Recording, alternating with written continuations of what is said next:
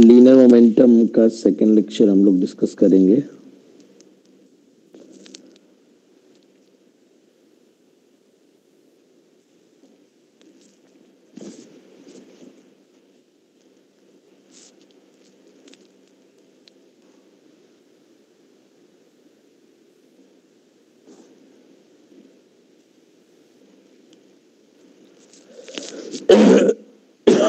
Linear momentum conservation पे हम लोग क्वेश्चन कर रहे थे।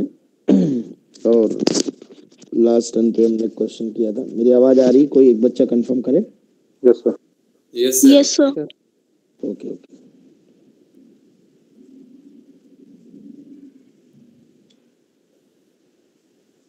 तो लास्ट टर्न पे जो प्रॉब्लम हम लोगों ने डिस्कस किया था वही से उसी से स्टार्ट करते हैं। एक प्रॉब्लम हम लोगों ने लिया था लास्ट टर्न पे। एक प्लैंक रखा था, जो कि स्मूथ फ्लोर पे रखा था बेटा। उस पे एक आदमी, हम लोगों का खड़ा था स्मॉल एम मास का प्लैंक कैपिटल एम मास का है। एंड सब कुछ रेस्ट पे था अभी, ये भी और मैन भी। फिर दिया था if man moves by a displacement sir दो लोग थे। दो थे? मैं नहीं तो था। यस सर एक लेफ़्ट नहीं अच्छा दो सवाल कर डाले थे क्या इस पे हमने? यस सर सेकंड क्वेश्चन था वो। अच्छा कोई बात नहीं। तो एक बच्चे को कॉन्सेप्ट दोबारा से समझना है तो मैं एक क्वेश्चन करा देता हूँ। तो इस पे हम लोगों ने, भाई तुम लोग को इतना समझाया, लेकिन लोट, लोग लेट फिर आते हैं चलिए कोई बात नहीं the man moves a displacement L relative to the plank.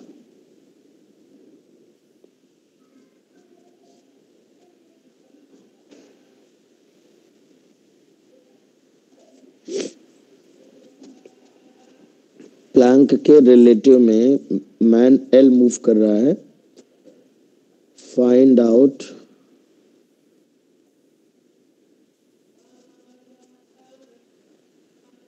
displacement of Planck.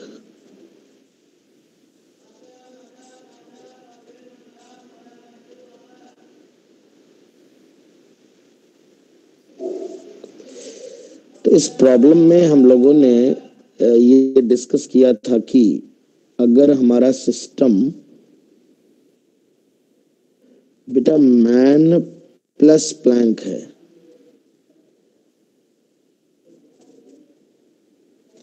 Man और प्लैंक को मिलाकर अगर सिस्टम माना गया है बेटा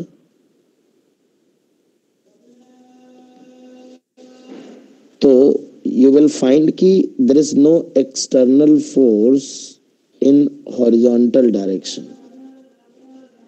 horizontal direction में कोई एक्सटर्नल फोर्स नहीं है। मैडम माइक ऑफ़ करो, किसका आइए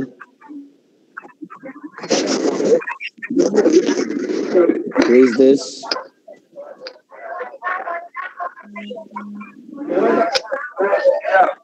गोविंद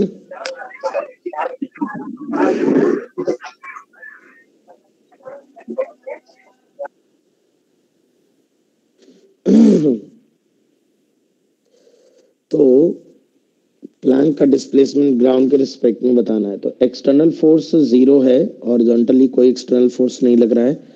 रफ सरफेस है नहीं बेटा तो कोई फ्रिक्शन लग नहीं रहा है। इन दोनों मैन और प्लैंक के बीच के जो भी फ्रिक्शन और नॉर्मल होंगे, वो इंटरनल फोर्सेस हो जाएँगे।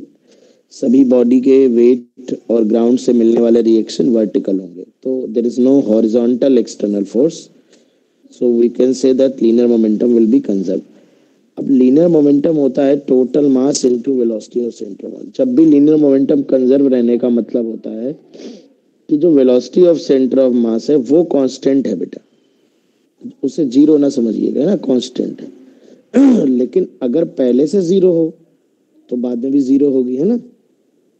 इस फ़ोटो में क्या है बेटा? इस प्रॉब्लम में हमारा सेंटर ऑफ़ मास जो था, वो पहले से रेस्ट पे था, इसलिए ऑल टाइम रेस्ट पे रहेगा। है ना?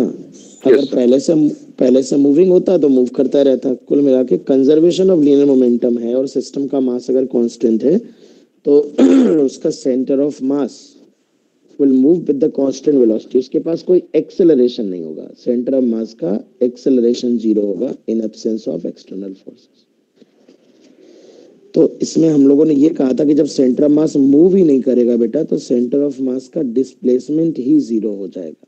और इस पे बेस्ड हमने एक इक्वेशन पढ़ाई थी total mass into delta X centre of mass M one delta X one होता है plus M two delta X two plus M three delta X three इस तरह से पढ़ाई थी। सेंटर मास मूव ना करे तो ये वाला टर्म ज़ीरो हो जाएगा। अब आप देखिए, इसका मतलब जब ये आदमी एल राइट में जाएगा, ये मैन जो होगा, ये जब एल राइट में जाएगा, ये उतने टाइम में इसको कुछ पीछे आना पड़ेगा so that centre of mass remains at the same position क्योंकि इसमें centre of mass horizontally displace नहीं होगा, यानी कि अगर मैन राइट जाएगा तो मोमेंटम चूँकि ज़ीरो है बेटा यहाँ पे यहाँ पूरा सिस्टम का इनिशियल मोमेंटम ज़ीरो है और मोमेंटम ऑल टाइम ज़ीरो होगा हॉरिजॉन्टल डायरेक्शन में, चाहे ये मैन यहाँ पे डांस क्यों ना करने लगे, ठीक है ना? तो हॉरिजॉन्टल डायरेक्शन में मोमेंटम ज़ीरो रहेगा। तो अगर ये मैन राइट में जा रहा है तो मोमेंटम ज़ीरो रहने के लिए लेफ़्ट में जाएगा। इसे हालाँकि मैंने फोर्स से भी एक्सप्लेन किया था कि जो एवरेज फ्रिक्शन होगा मैन पे आगे लगेगा और वही फ्रिक्शन प्लैंक पे पीछे लगेगा, जो इसको इसको पीछे ले जाएगा। मैन को आगे ले जाएगा। बट ये फ्रिक्शन इंटरनल फोर्स होगा बेटा तो वो वो मोमेंटम के चेंज में कंट्रीब्यूट नहीं करेगा। तो कहने का मतलब ये है कि जब मैन हमारा एल मीटर आगे जाएगा तो प्लैंक एक्स पीछे जाएगा। लेकिन मैन जैसे पाँच मीटर मान लीजिए प्लैंक के ऊपर बैठ चला प्लैंक पे पाँच मीटर चला यहाँ से यहाँ आ गया। उतनी देर में एक मीटर प्लैंक पीछे आ गया तो मैन भी तो एक मीटर प्लैंक के साथ पीछे आएगा ना। तो यहाँ पर यहाँ पर हमने कहा था मैन का डिस्प्लेसमेंट सेम डायरेक्शन में एल माइनस एक्स होगा ग्राउंड के फ्रेम में। बिकॉज़ मोमेंटम कंजर्वेशन हम ग्राउंड के फ्रेम में लगा रहे हैं तो एल माइनस एक्स ये मैन का मैन एल ऐसे गया और एक्स पीछे आ गया प्लैंक के चक्कर में। तो एल माइनस एक्स है displacement of man with respect to ground और प्लैन का तो माइनस एक्स हो जाएगा। यहाँ से बच्चों हमने वैल्यू निकाली थी M L upon M plus M ठीक है ना? तो ये कॉन्सेप्ट था अब एक मैन हो या दो हो या तीन हो तो इस पे क्वेश्चन आप कर सकते हैं। यस सर चलिए तो आइए एक नए क्वेश्चन से शुरू करते हैं। एक अच्छा सवाल सेम कॉन्सेप्ट पे सभी बच्चे मुझे आंसर करेंगे और सभी जिससे एक मिनट के लिए माइक ऑन करेंगे आंसर बताएँगे, फिर आप कहानी को आगे बढ़ाएँगे। ये एक वेज है जिसका मास स्मॉल एम है बच्चों। ये सेम कॉन्सेप्ट पे मैं चार पाँच क्वेश्चन कराऊँगा, क्योंकि ये कॉन्सेप्ट बड़ा इंपॉर्टेंट है। और एक छोटा सा पार्टिकल है और ये स्मूथ सरफेस है। तो इसमें आपको ये बताना है कि जब ये इसको मैं छोड़ दूँगा फिसलने के लिए और ये इधर फिसलते हुए आएगा system is released from rest तो जब ये बॉटम पे पहुंचेगा, ये पी क्यू तो लेंथ पी क्यू को एल मान लेते हैं। Find out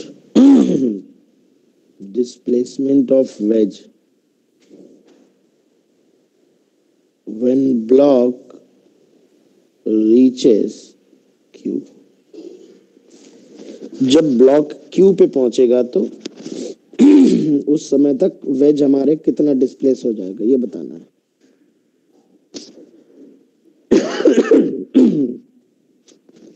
इस केस में भी आप देख रहे हो जब ये नीचे बच्चों फिसल के ऐसे आएगा तो ये वेज पीछे भागेगा। क्योंकि सिस्टम का जो नेट मोमेंटम है, अभी तो ज़ीरो है। और यहाँ पर भी आप देखो तो हॉरिजॉन्टल डायरेक्शन में कोई एक्सटर्नल फोर्स नहीं है। हॉरिजॉन्टल डायरेक्शन में ना? फोर्सेस अगर आप आइडेंटिफाई कर रहे हो तो जब ब्लॉक कहीं पर किसी भी इंटरमीडिएट पॉइंट पर होगा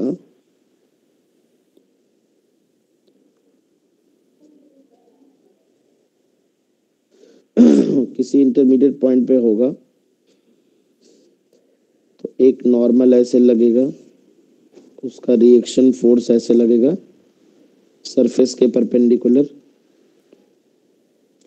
तो ये इंटरनल फोर्स होगा। बाकी इसका ग्रेविटी इसका ग्रेविटी ग्राउंड से रिएक्शन ये सब वर्टिकल फोर्स होंगे। तो एक्स डायरेक्शन में net external force zero linear momentum conserve रहेगा। सेम कॉन्सेप्ट पे एप्लीकेबल है बताओ जरा। कि जब ये जब ये यहाँ से यहाँ आ जाएगा ये फ्लिप करते करते तब तक ये वेज कितना पीछे हो जाएगी? अप्लाई से L cos theta L cos theta small m upon small m plus capital M. सही है आदित्य बेटा very good M L cos theta upon capital M plus small M है। Very good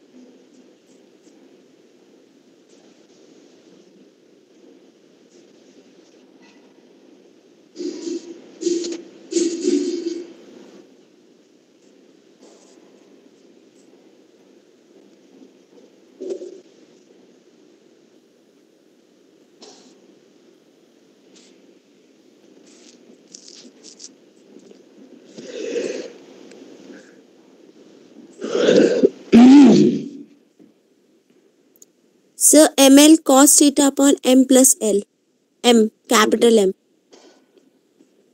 capital M L cos theta ये कह रही है क्या? No sir small M L cos theta upon small M plus capital M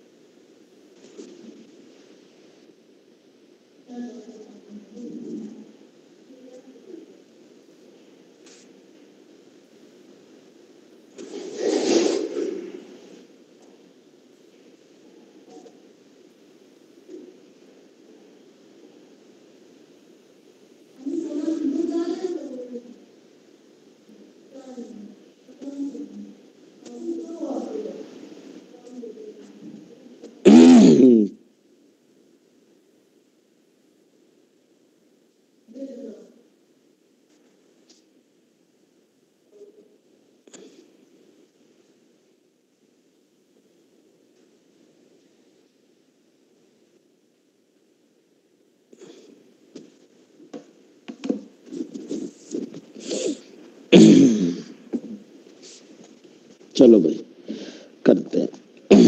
बिल्कुल basic logic है बेटा। ये देखिए, जब ये यहाँ पे ऐसे आएगा तो ये इसको इधर पीछे की तरफ़ जाना पड़ेगा। मैं बनाता हूँ दोनों फ़ोटो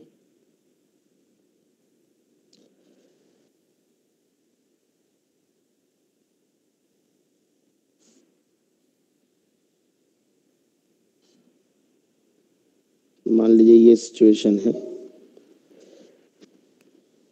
ना अगर कोई पूछे कि ये पीछे क्यों जा रहा है तो आप इंडिविजुअल अगर केवल वेज को देखोगे, केवल वेज को देखोगे तो वेज के लिए जो नॉर्मल रिएक्शन ये मिलेगा, ये तो एक्सटर्नल फोर्स होगा और उसका एक एक्स कंपोनेंट आएगा नॉर्मल का एक्स कंपोनेंट जो इस वेज को पीछे ले जाएगा। तो ये तो ऑब्वियस सी बात है कि वेज पीछे जाएगा बिकॉज़ इसके पास इनिशियल वेलोसिटी थी नहीं तो ये इसी डायरेक्शन में मूव कर जाएगा। ठीक है? या इसे ऐसे भी समझा सकते हो कि centre of mass X direction में रेस्ट पे था। एक्स डायरेक्शन में उसके पास कोई वेलोसिटी नहीं है। और एक्स डायरेक्शन में मोमेंटम भी कंजर्व है तो वेलोसिटी ज़ीरो ही रहेगी। तो centre of mass X direction में तो मूव नहीं करेगा। अच्छा ये मिसकंसेप्शन ना पालिएगा कि जब एक्सटर्नल फोर्स नहीं होता, मैंने बहुत बच्चों को कहते देखा है। कि सर एक्सटर्नल फोर्स नहीं है तो सिस्टम का centre of mass horizontally move ही नहीं करेगा। ऐसा बिल्कुल नहीं है। एक्सटर्नल फोर्स की एब्सेंस में वेलोसिटी कांस्टेंट होती है। बट यहाँ चूँकि पहले से ज़ीरो है दैट्स व्हाई मूव नहीं कर रहा है। हमेशा ऐसा नहीं होता है कि सेंटर ऑफ़ मास रेस्ट पे हो एक्सटर्नल फोर्स ना लग रहे हो तो है ना? ये कह सकते हो सेंटर ऑफ़ मास की जो भी वेलोसिटी है, वो चेंज नहीं हो रही होगी in absence of external forces okay तो मिसकंसेप्शन ना बैठा लीजिएगा दुनिया के तो ये जब ये नीचे आ रहा होगा वेज पीछे जा रही होगी, मैं दोबारा रीड्रॉ करता हूँ दूसरा डायग्राम तो ये वेज थोड़ा सा पीछे आ चुकी होगी लाइक दिस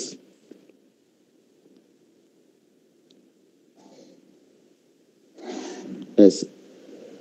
ये जब ऐसे फिसल के आएगा वेज पीछे आ जाएगी कुछ, और ये यहाँ पहुँच जाएगा। अब देखिए, ये वाली लेंथ अगर एल है तो ये वाली लेंथ पूरी एल कॉस थीटा होती है। ये भी एल कॉस थीटा है। अगर वेज हमारी एक्स पीछे आई है, इधर एक्स तो आप देखिए कि ये वेज हमारी एक्स मूव करके पीछे आई है। ये ब्लॉक जो है, ये horizontally L cos theta move किया, सिर्फ़ हॉरिजॉन्टल देखिए। अगर वेज वहीं की वहीं बनी रहती तो ब्लॉक यहाँ से लेकर यहाँ तक और एल कॉस थीटा मूव करता।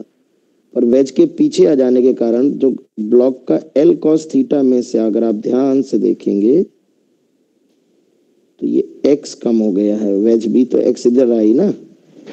तो ये पूरा गैप यहाँ ग्राउंड के फ्रेम से खड़े होकर देखिए ब्लॉक इस लाइन के सामने था और ब्लॉक ऐसे आ गया। लेकिन ये वेज पीछे आ गई तो यहाँ आ गया है ब्लॉक तो एल कॉस थीटा ये है, ये पूरी यहाँ से लेके यहाँ तक एल कॉस थीटा उसमें से एक्स माइनस यानी ब्लॉक का डिस्प्लेसमेंट जो है ब्लॉक का ग्राउंड के रिस्पेक्ट में एक्स डायरेक्शन में L cos theta minus X है दैट्स इट अब क्या बेसिक लॉजिक लगा दीजिए, वही जो पढ़ा था total mass into delta X centre of mass M one delta X one plus M two delta X two ये ज़ीरो कर दीजिए बेटा सेंटर ऑफ़ मास रेस्ट पे एक्स डायरेक्शन में. तो zero is equal to block का horizontal displacement L cos theta minus X wedge का है minus x?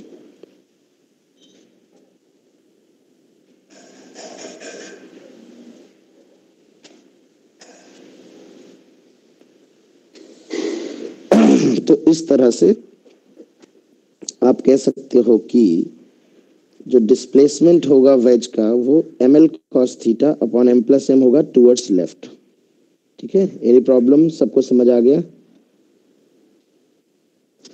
Yes sir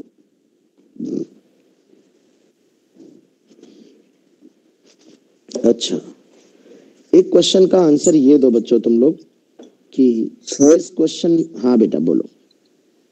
sir इसमें मास एम प्लस एम नहीं लेंगे वो उसके ऊपर रखा हुआ किसका मास बेटा यहाँ पर तो हम इंडिविजुअल ब्लॉक्स लिख रहे हैं ना। देखो ये टर्म जो क्या है फ़र्स्ट वाले बॉडी का मास उसका डिस्प्लेसमेंट दूसरी वाली बॉडी का मास उसका डिस्प्लेसमेंट तो एक बार ब्लॉक लिया है एक बार वेज लिया है। एम प्लस एम लेने का क्या ज़रूरत बेटा यहाँ पे?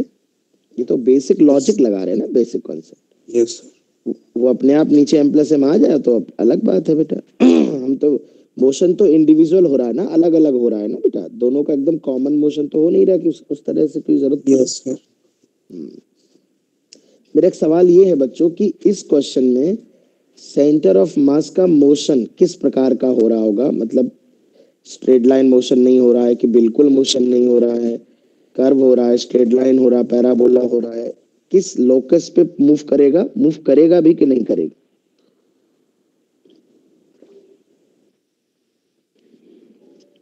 नहीं करेगा। नहीं करेगा। नहीं करेगा।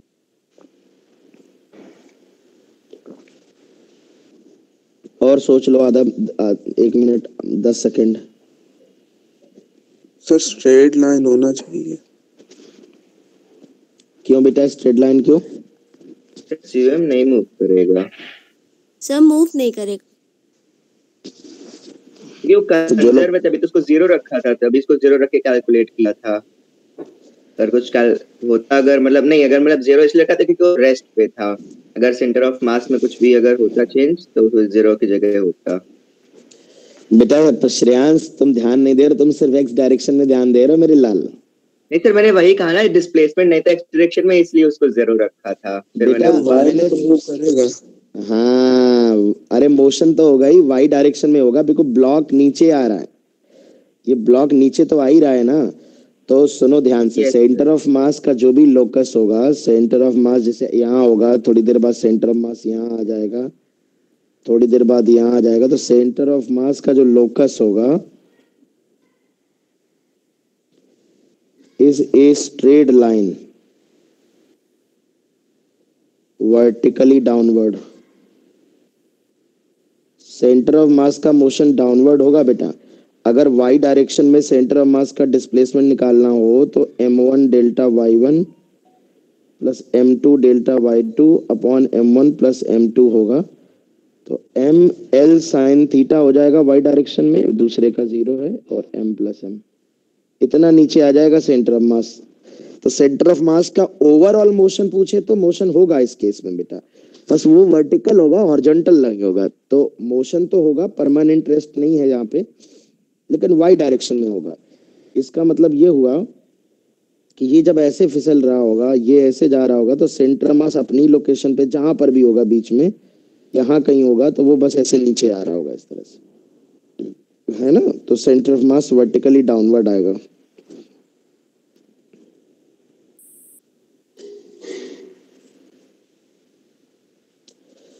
ओके तो this was a good question चलिए। तो कहानी को हम आगे बढ़ाते हैं।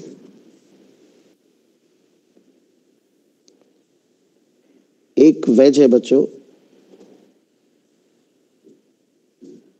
सेम कॉन्सेप्ट का क्वेश्चन है। इसमें अधिक टाइम मत लेना बच्चों। और ये इसमें एक हेमिस्फेरिकल कैविटी टाइप है। इसका मास कैपिटल एम है। ये स्मूथ सरफेस पे रखी है।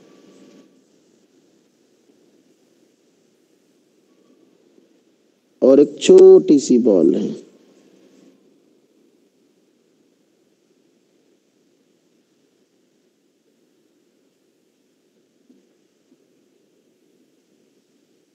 ऐसा करते हैं, थोड़ी बड़ी बॉल रख देते हैं।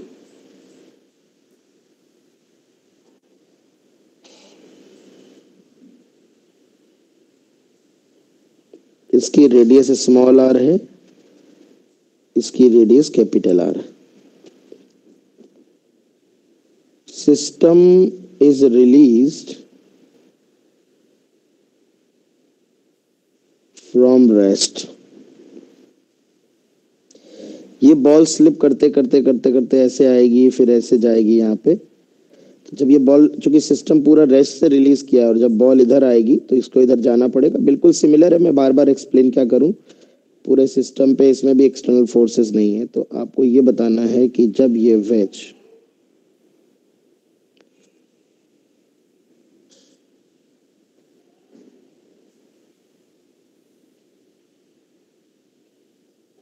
जब ये बॉल जो है तुम्हारी यहाँ पहुँच जाएगी, यहाँ पे।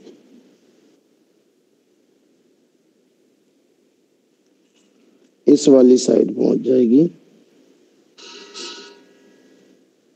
तब तक ये हमारी जो वेज होगी, जब बॉल ऐसे आएगी ना बेटा तो वेज इधर आ जाएगी।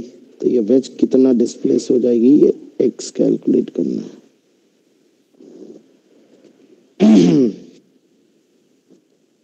सॉल्व करें भाई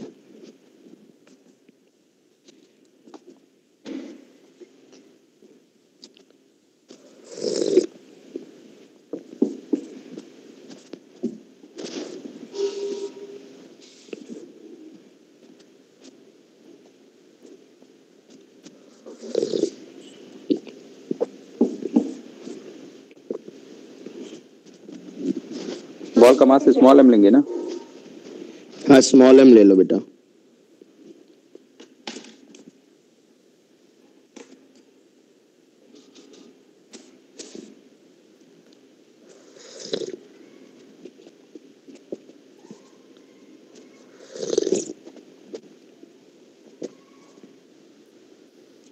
M capital R minus two R upon capital M plus small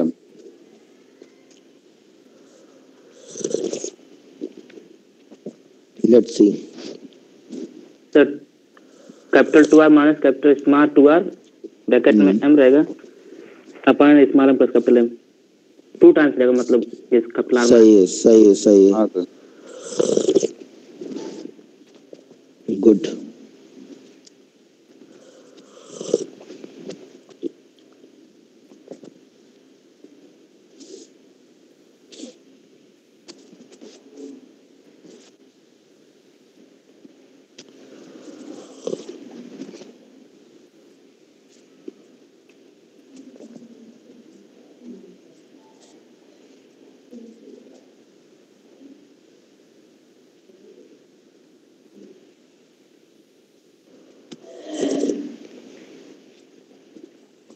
two R M upon capital M plus small M गलत है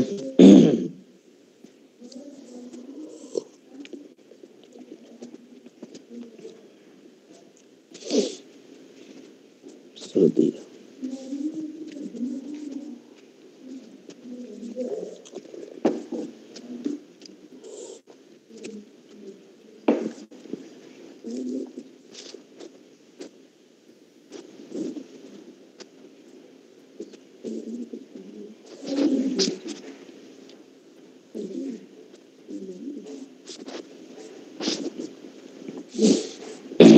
देखो बेटा इसमें आपको बॉल का साइज़ थोड़ा बड़ा है तो बॉल का सारा मास उसके सेंटर ऑफ़ मास पे कंसंट्रेटेड मानोगे जब भी आप डिस्प्लेसमेंट लिखोगे या मास मोमेंट लिखोगे, है ना? तो इस बॉल का सेंटर ऑफ़ मास आप सोचिए ये लोकेशन थी पहले। आपको सिर्फ़ हॉरिजॉन्टल डायरेक्शन में देखना है, आपको ये डिस्प्लेसमेंट कंसीडर करना है। हॉरिजॉन्टल डिस्प्लेसमेंट तो बस यही लिया जाएगा ना। पौने नौ बजे भी कुछ लोग आ रहे हैं, हे भगवान। क्या करेंगे जीवन में? तो अगर हम इसमें लॉजिक लगाएँ total mass into delta x center of mass is equal to m1 delta x1 तो सेंटर ऑफ़ मास तो मूव नहीं कर रहा एक्स डायरेक्शन में। क्योंकि एक्सटर्नल फोर्स नहीं मैं। शुरू से सारी बातें नहीं बताऊँगा सब बता चुका हूँ, ठीक है? सिमिलर क्वेश्चन है जस्ट फॉर प्रैक्टिस हम लोग कुछ क्वेश्चन कर रहे हैं। तो ये वाला टर्म ज़ीरो हो जाएगा। और मुझे हद है यार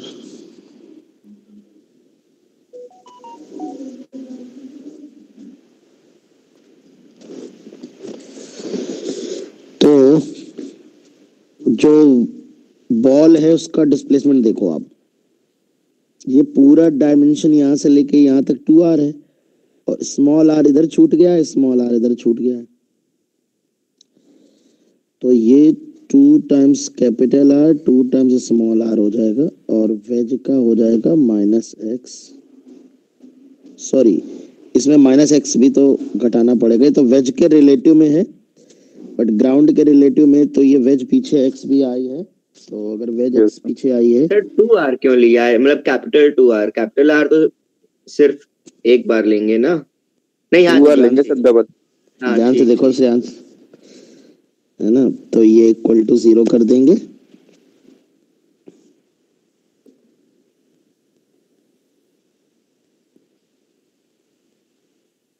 ऐसे आ जाएगा बेटा।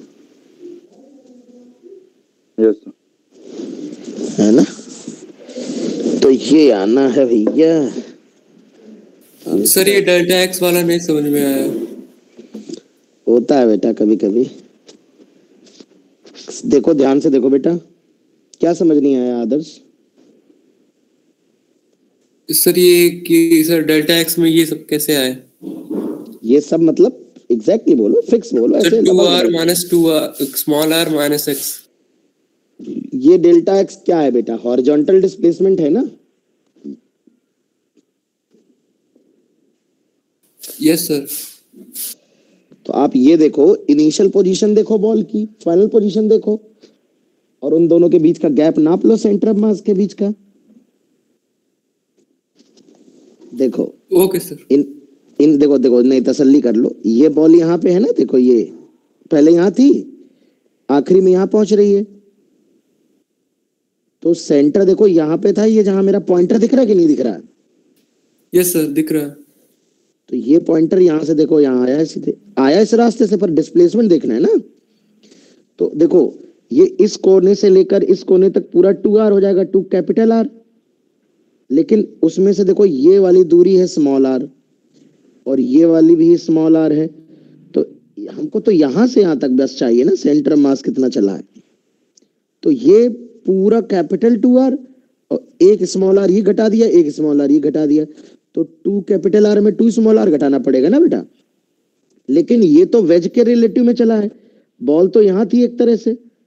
और ये वेज भी तो एक्स पीछे आई है तो वेज के अंदर ये चला है टू आर माइनस आर और वेज पीछे आ गई एक्स तो एक्स घटा देंगे जैसे एल माइनस एक्स कर देते थे। Yes sir yes sir clear है बच्चों? गड़बड़ गड़बड़ ना करना भाई आईटी में क्वेश्चन आया यार ये। है ना? गड़बड़ ना करो बेटा। चलो। वेरी गुड तो अब बच्चों हम इस पे थोड़ा मॉडिफाइड क्वेश्चन बताएँगे। इसको लगा डाला तो लाइव झिंगा लाला है ये मान के चलो। सर हाँ बेटा। सर हम लोग ग्राउंड के रिलेटिव में कब लेकर करेंगे? ग्राउंड के रिलेटिव में तो है ही। नहीं सर मतलब गिवन होगा वो तो प्रॉब्लम पे डिपेंड करता है आयुष पांडे। ये तो क्वेश्चन पे डिपेंड करता है कि ग्राउंड के रिलेटिव में कब लेंगे है ना? मतलब जब तक नहीं कहा जाएगा तब तक हम लोग वेज के रिलेटिव मिलेंगे। बेटा तुम समझ ही नहीं रहो हमें क्वेश्चन में पांडे तुमसे ये उम्मीद नहीं थी। हमें हमें ये थोड़े ना दिया गया है कि कितना डिस्प्लेसमेंट हमें ये कहा गया कि जब बॉल इस कोने में पहुँच जाएगी तब बताओ वेज का डिस्प्लेसमेंट क्या होगा। तो जब बॉल इस कोने में पहुँच जाएगी तो तुम्हें यही पता है कि ग्राउंड के रिलेट वेज के रिलेटिव में कितना चलेगी। क्या तुम्हें ग्राउंड के रिलेटिव में पहले से पता है क्या? तो उसे कन्वर्ट किया है हमने ग्राउंड के रिलेटिव देखो इस, यहाँ पे देखो जहाँ मेरा पॉइंटर है। ये अल्टीमेटली तो हमने ग्राउंड के रिलेटिव में ही लिखा है ना बट हमारी मजबूरी थी कि हमें ग्राउंड के रिलेटिव में पहले से नहीं पता था। दैट्स वाई वेज के रिलेटिव में दिख रहा था तो वो वेज के रिलेटिव में लिख करके उसमें एक्स घटा दिया बेटा हमने। पांडे हमें ये थोड़े ना पता बताएगा क्वेश्चन में कि इसके रिलेटिव में करो उसके रिलेटिव में करो। हम मोमेंटम कंजर्वेशन ग्राउंड के रिलेटिव में लगा रहे हैं। हमें सारे डिस्प्लेसमेंट ग्राउंड के रिलेटिव में चाहिए। लेकिन जिन क्वेश्चंस में हमें पहले से ग्राउंड के रिलेटिव में नहीं पता है वेज के रिलेटिव में दिखाई पड़ रहा है तो हम उसे ग्राउंड के रिलेटिव में कन्वर्ट करते हैं। तभी तो एक्स घटा देते हैं ये वाला। है। इट्स क्लियर नाउ है ना? चलिए फेयर इनफ अगला क्वेश्चन करते हैं।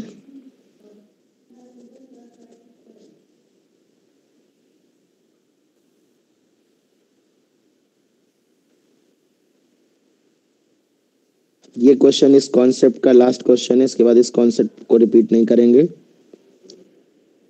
ये 53 डिग्री है बेटा, ये 37 डिग्री है।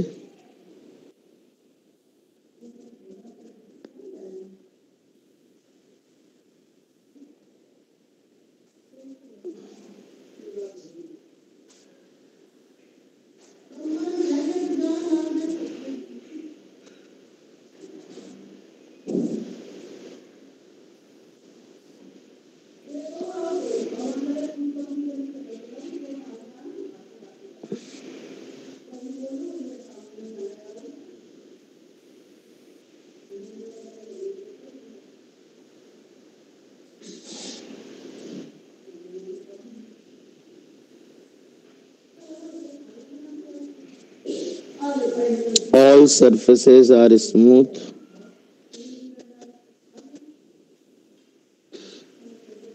Photo बनाओ system is released from rest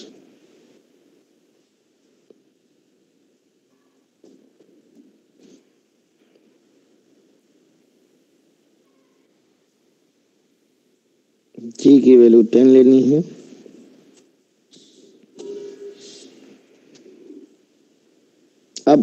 बताना है कि जब ये दोनों, ये ब्लॉक चूँकि बड़ा है हैवी इसका एम जी साइन थीटा ज़्यादा होगा, ये एल मूव करेगा तो ऑफ़ कोर्स वेज के रिलेटिव में।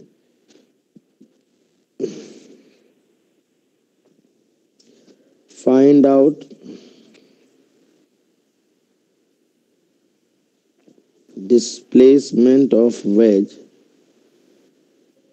when blocks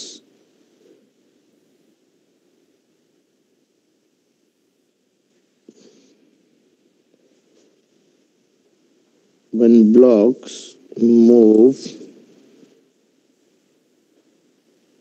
through a distance L relative to the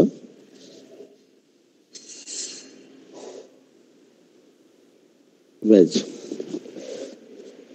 wedge के रिलेटिव में ब्लॉक्स एल मूव कर जाएँगे। तो ऑफ़ कोर्स इसका मतलब ये एल नीचे चला आएगा, ये एल लेफ़्ट में चला आएगा और ये एल ऐसे ऊपर चला आएगा उतने टाइम में वेज ऑफ़ कोर्स राइट में जाएगी एक्स मूव करेगी सपोज़ तो एक्स बताना है।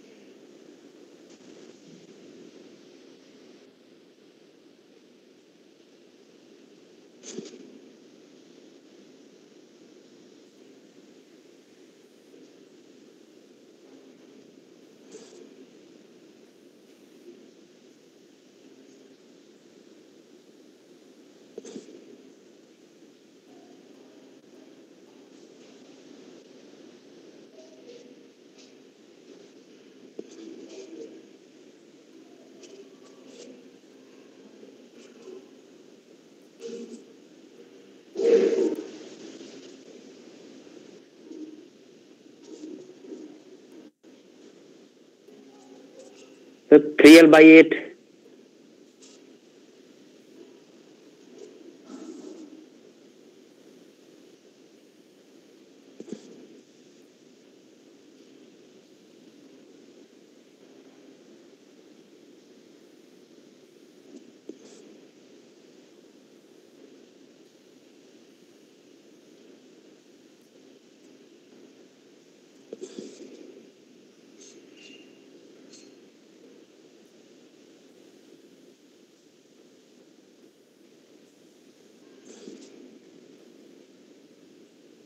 sir 3 bytes 7l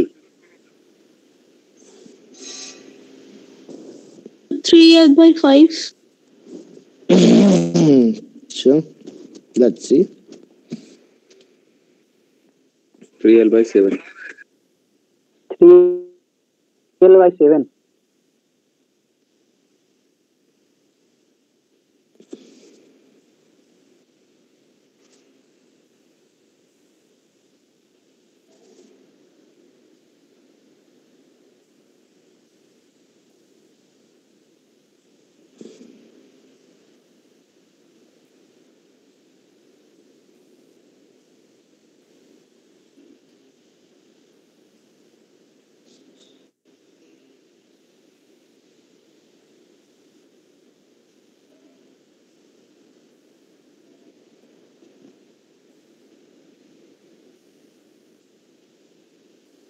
by seven sir fifteen L by eight let's see देखो, ये वाला ब्लॉक जो है, वो एल ऐसे आ रहा है। ये एंगल है।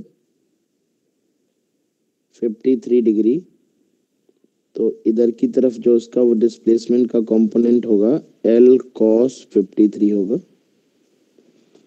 ग्राउंड ग्राउंड के रिलेटिव में लेंगे तो ये एक्स में से माइनस हो जाएगा। इधर वाला ब्लॉक भी एल इधर आ रहा है, ये एंगल थर्टी सेवन डिग्री है। L cos thirty seven degree होगा, ये इधर की तरफ़। और ये वेज एक्स इधर जा रही है तो एक्स इधर भी जाएगा वेज के ऊपर है एक्स इधर भी जाएगा। और ये ऊपर वाला ब्लॉक तो सीधे सीधे एल इधर आ रहा है बट वेज वेज एक्स इधर जा रही है तो एल माइनस एक्स होगा। इन सभी का डिस्प्लेसमेंट लेफ़्ट डायरेक्शन में होगा। लॉजिक क्या लगाएँगे? Total mass into delta X centre of mass M one delta X one plus M two delta X two plus M three delta X three plus M four delta X four है ना? Centre of mass horizontally displace नहीं हो रहा है तो zero लिखेंगे। सबसे पहले लेफ़्ट वाले का मास कितना था? याद नहीं मुझे। ट्वेंटी के टेन के जी टेन के जी, टेन के टेन के जी का आएगा लेफ़्ट डायरेक्शन में आएगा लेफ़्ट डायरेक्शन में। या राइट में लिखना हो तो आप इसको x माइनस दिस लिख दीजिए, कोई दिक्कत नहीं है। तो मैं, अगर लेफ़्ट की तरफ़ ही आएगा इफेक्टिवली तो मैं इसको नेगेटिव साइन लिख देता हूँ। माइनस ऐसे। माइनस का एल कॉस फिफ्टी थ्री मतलब ये जो डिस्प्लेसमेंट है ना इतना ये नेगेटिव डायरेक्शन है इसलिए ये माइनस लगा है। आपका मन हो तो आप इसे बात वही है आप x में से घटा लीजिए। मान लीजिए थोड़ी देर के लिए कि x बड़ा है तो x minus L cos fifty three अब ये राइट डायरेक्शन में होगा तो अब आप इसमें माइनस साइन नहीं लगाएँगे। इसी तरह इस वाले को ये जो ऊपर वाला था ये भी टेन के जी है शायद। फाइव है। तो फाइव के वाले का राइट डायरेक्शन में एक्स माइनस एल मान अगर मैं एल माइनस एक्स लिखूँगा तो मुझे एक माइनस बाहर लगाना पड़ेगा। अल्टीमेटली वो हो जाएगा एक्स माइनस और ये फाइव है, इसका हॉरिजॉन्टल है X minus L cos fifty three और वेज का भी राइट डायरेक्शन में वेज तो हमने एक्स माना ही है ट्वेंटी एक्स इसको ज़ीरो कर दिया हमने। टेन एक्स यहाँ से फाइव एक्स यहाँ से फाइव एक्स यहाँ से ट्वेंटी ट्वेंटी फोर्टी एक्स रहेगा। बाकी सबको लेफ़्ट ले आओ। Ten L cos fifty three है three by five. Plus five L. अब एक तो थर्टी सेवन होगा ना ये वाला? यस सर ये फोर बाई फाइव इधर आएगा फोर्टी एल। फाइव टू से टेन फाइव फाइव खत्म यहाँ से सिक्स फाइव इलेवन इलेवन और four fifteen divide by forty is equal to X forty होगा? फोर्टी लिखा था धोखे से लिख गया three L by eight is the correct answer आ रहा है किसी का? Yes yes no sir sir कोई Yes, बात नहीं। कोई बात नहीं आ जाएगा आ जाएगा। है ना? तो ये क्वेश्चन जो है फाइनली इस आर्टिकल का एक अच्छा क्वेश्चन है जिसमें हम सिर्फ़ अभी डिस्प्लेसमेंट पे काम कर रहे हैं केवल ओनली आ वर्किंग ठीक है वेरी गुड बेटा वेरी गुड बहुत बढ़िया। कहानी को आगे बढ़ाते हैं। डेल्टा एक्स वन बता दीजिए डेल्टा एक्स वन बता दे बेटा। डेल्टा एक्स वन देखिए Yes, क्या है। डेल्टा एक्स वन जो है वो हमने इस ब्लॉक का डिस्प्लेसमेंट ग्राउंड के रिलेटिव में लिखा है। यस आइए देखिए। तो ये ब्लॉक क्या है बेटा कि ये ब्लॉक प्लेन के रिलेटिव में एल नीचे आ रहा है। हम्म तो एल के दो कंपोनेंट कर लिए। L cos theta L sine theta तो ग्राउंड हॉरिजॉन्टल डिस्प्लेसमेंट है L cos theta with respect to wedge और एक्स वेज जा रही है पीछे। तो जब एक्स वेक्टर इसमें जोड़ेंगे तो या तो इसमें ये घटा दो। अगर L cos fifty three minus X लिखोगे तो टूवर्ड्स लेफ़्ट आएगा। मैंने कल्पना कर ली इमेजिन कर लिया कि एक्स बड़ा है। तो X minus L cos fifty three right direction में आ जाएगा। तो L X minus L cos fifty three right direction में है तो प्लस के साथ लिख दिया। डायरेक्शन में जाएगी सर लिया बेटा एक्स बड़ा है। तो पॉजिटिव ही मानेंगे ना बेटा? यस सर सिंपल बात आप ऐसे समझिए ना अगर ये एक्स इधर माना है और ये इधर है मान लो ए है तो अगर आप एक्स माइनस ए लिख रहे हैं तो ये तो राइट में ही बनेगा ना एक्स माइनस अगर आप एक्स को बड़ा मान रहे हैं। भले ही बाद में वो छोटा पता चले अलग बात है। है ना? चलिए। यस ओके जाएँगे तो लेफ़्ट में ही लेकिन वो हमने माइनस बिना लगाना पड़े बाहर नहीं तो फिर माइनस लगाना पड़ेगा है ना? जब अननोन है तो आप किसी कोई भी एजम्पशन ले सकते हो।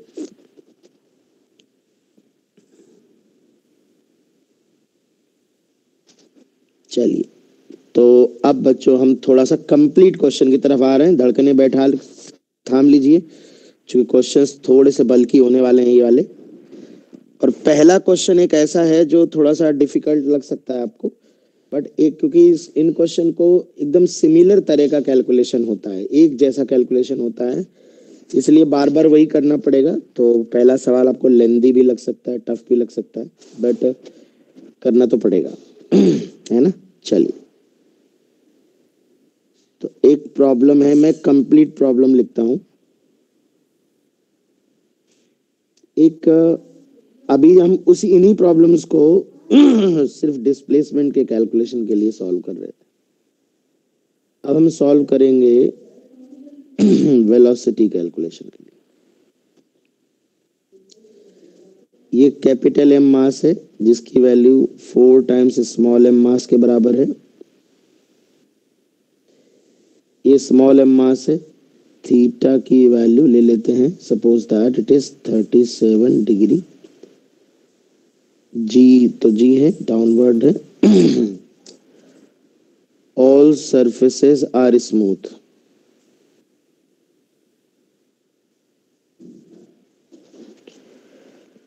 बच्चों, सारी सरफेस स्मूथ है और इस पार्टिकल को रिलीज़ किया गया है। ये पार्टिकल नीचे आ रहा है वेज पीछे भाग रही है। क्वेश्चन ये है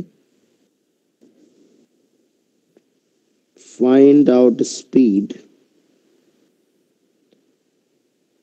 of wedge. When block slips down the plane,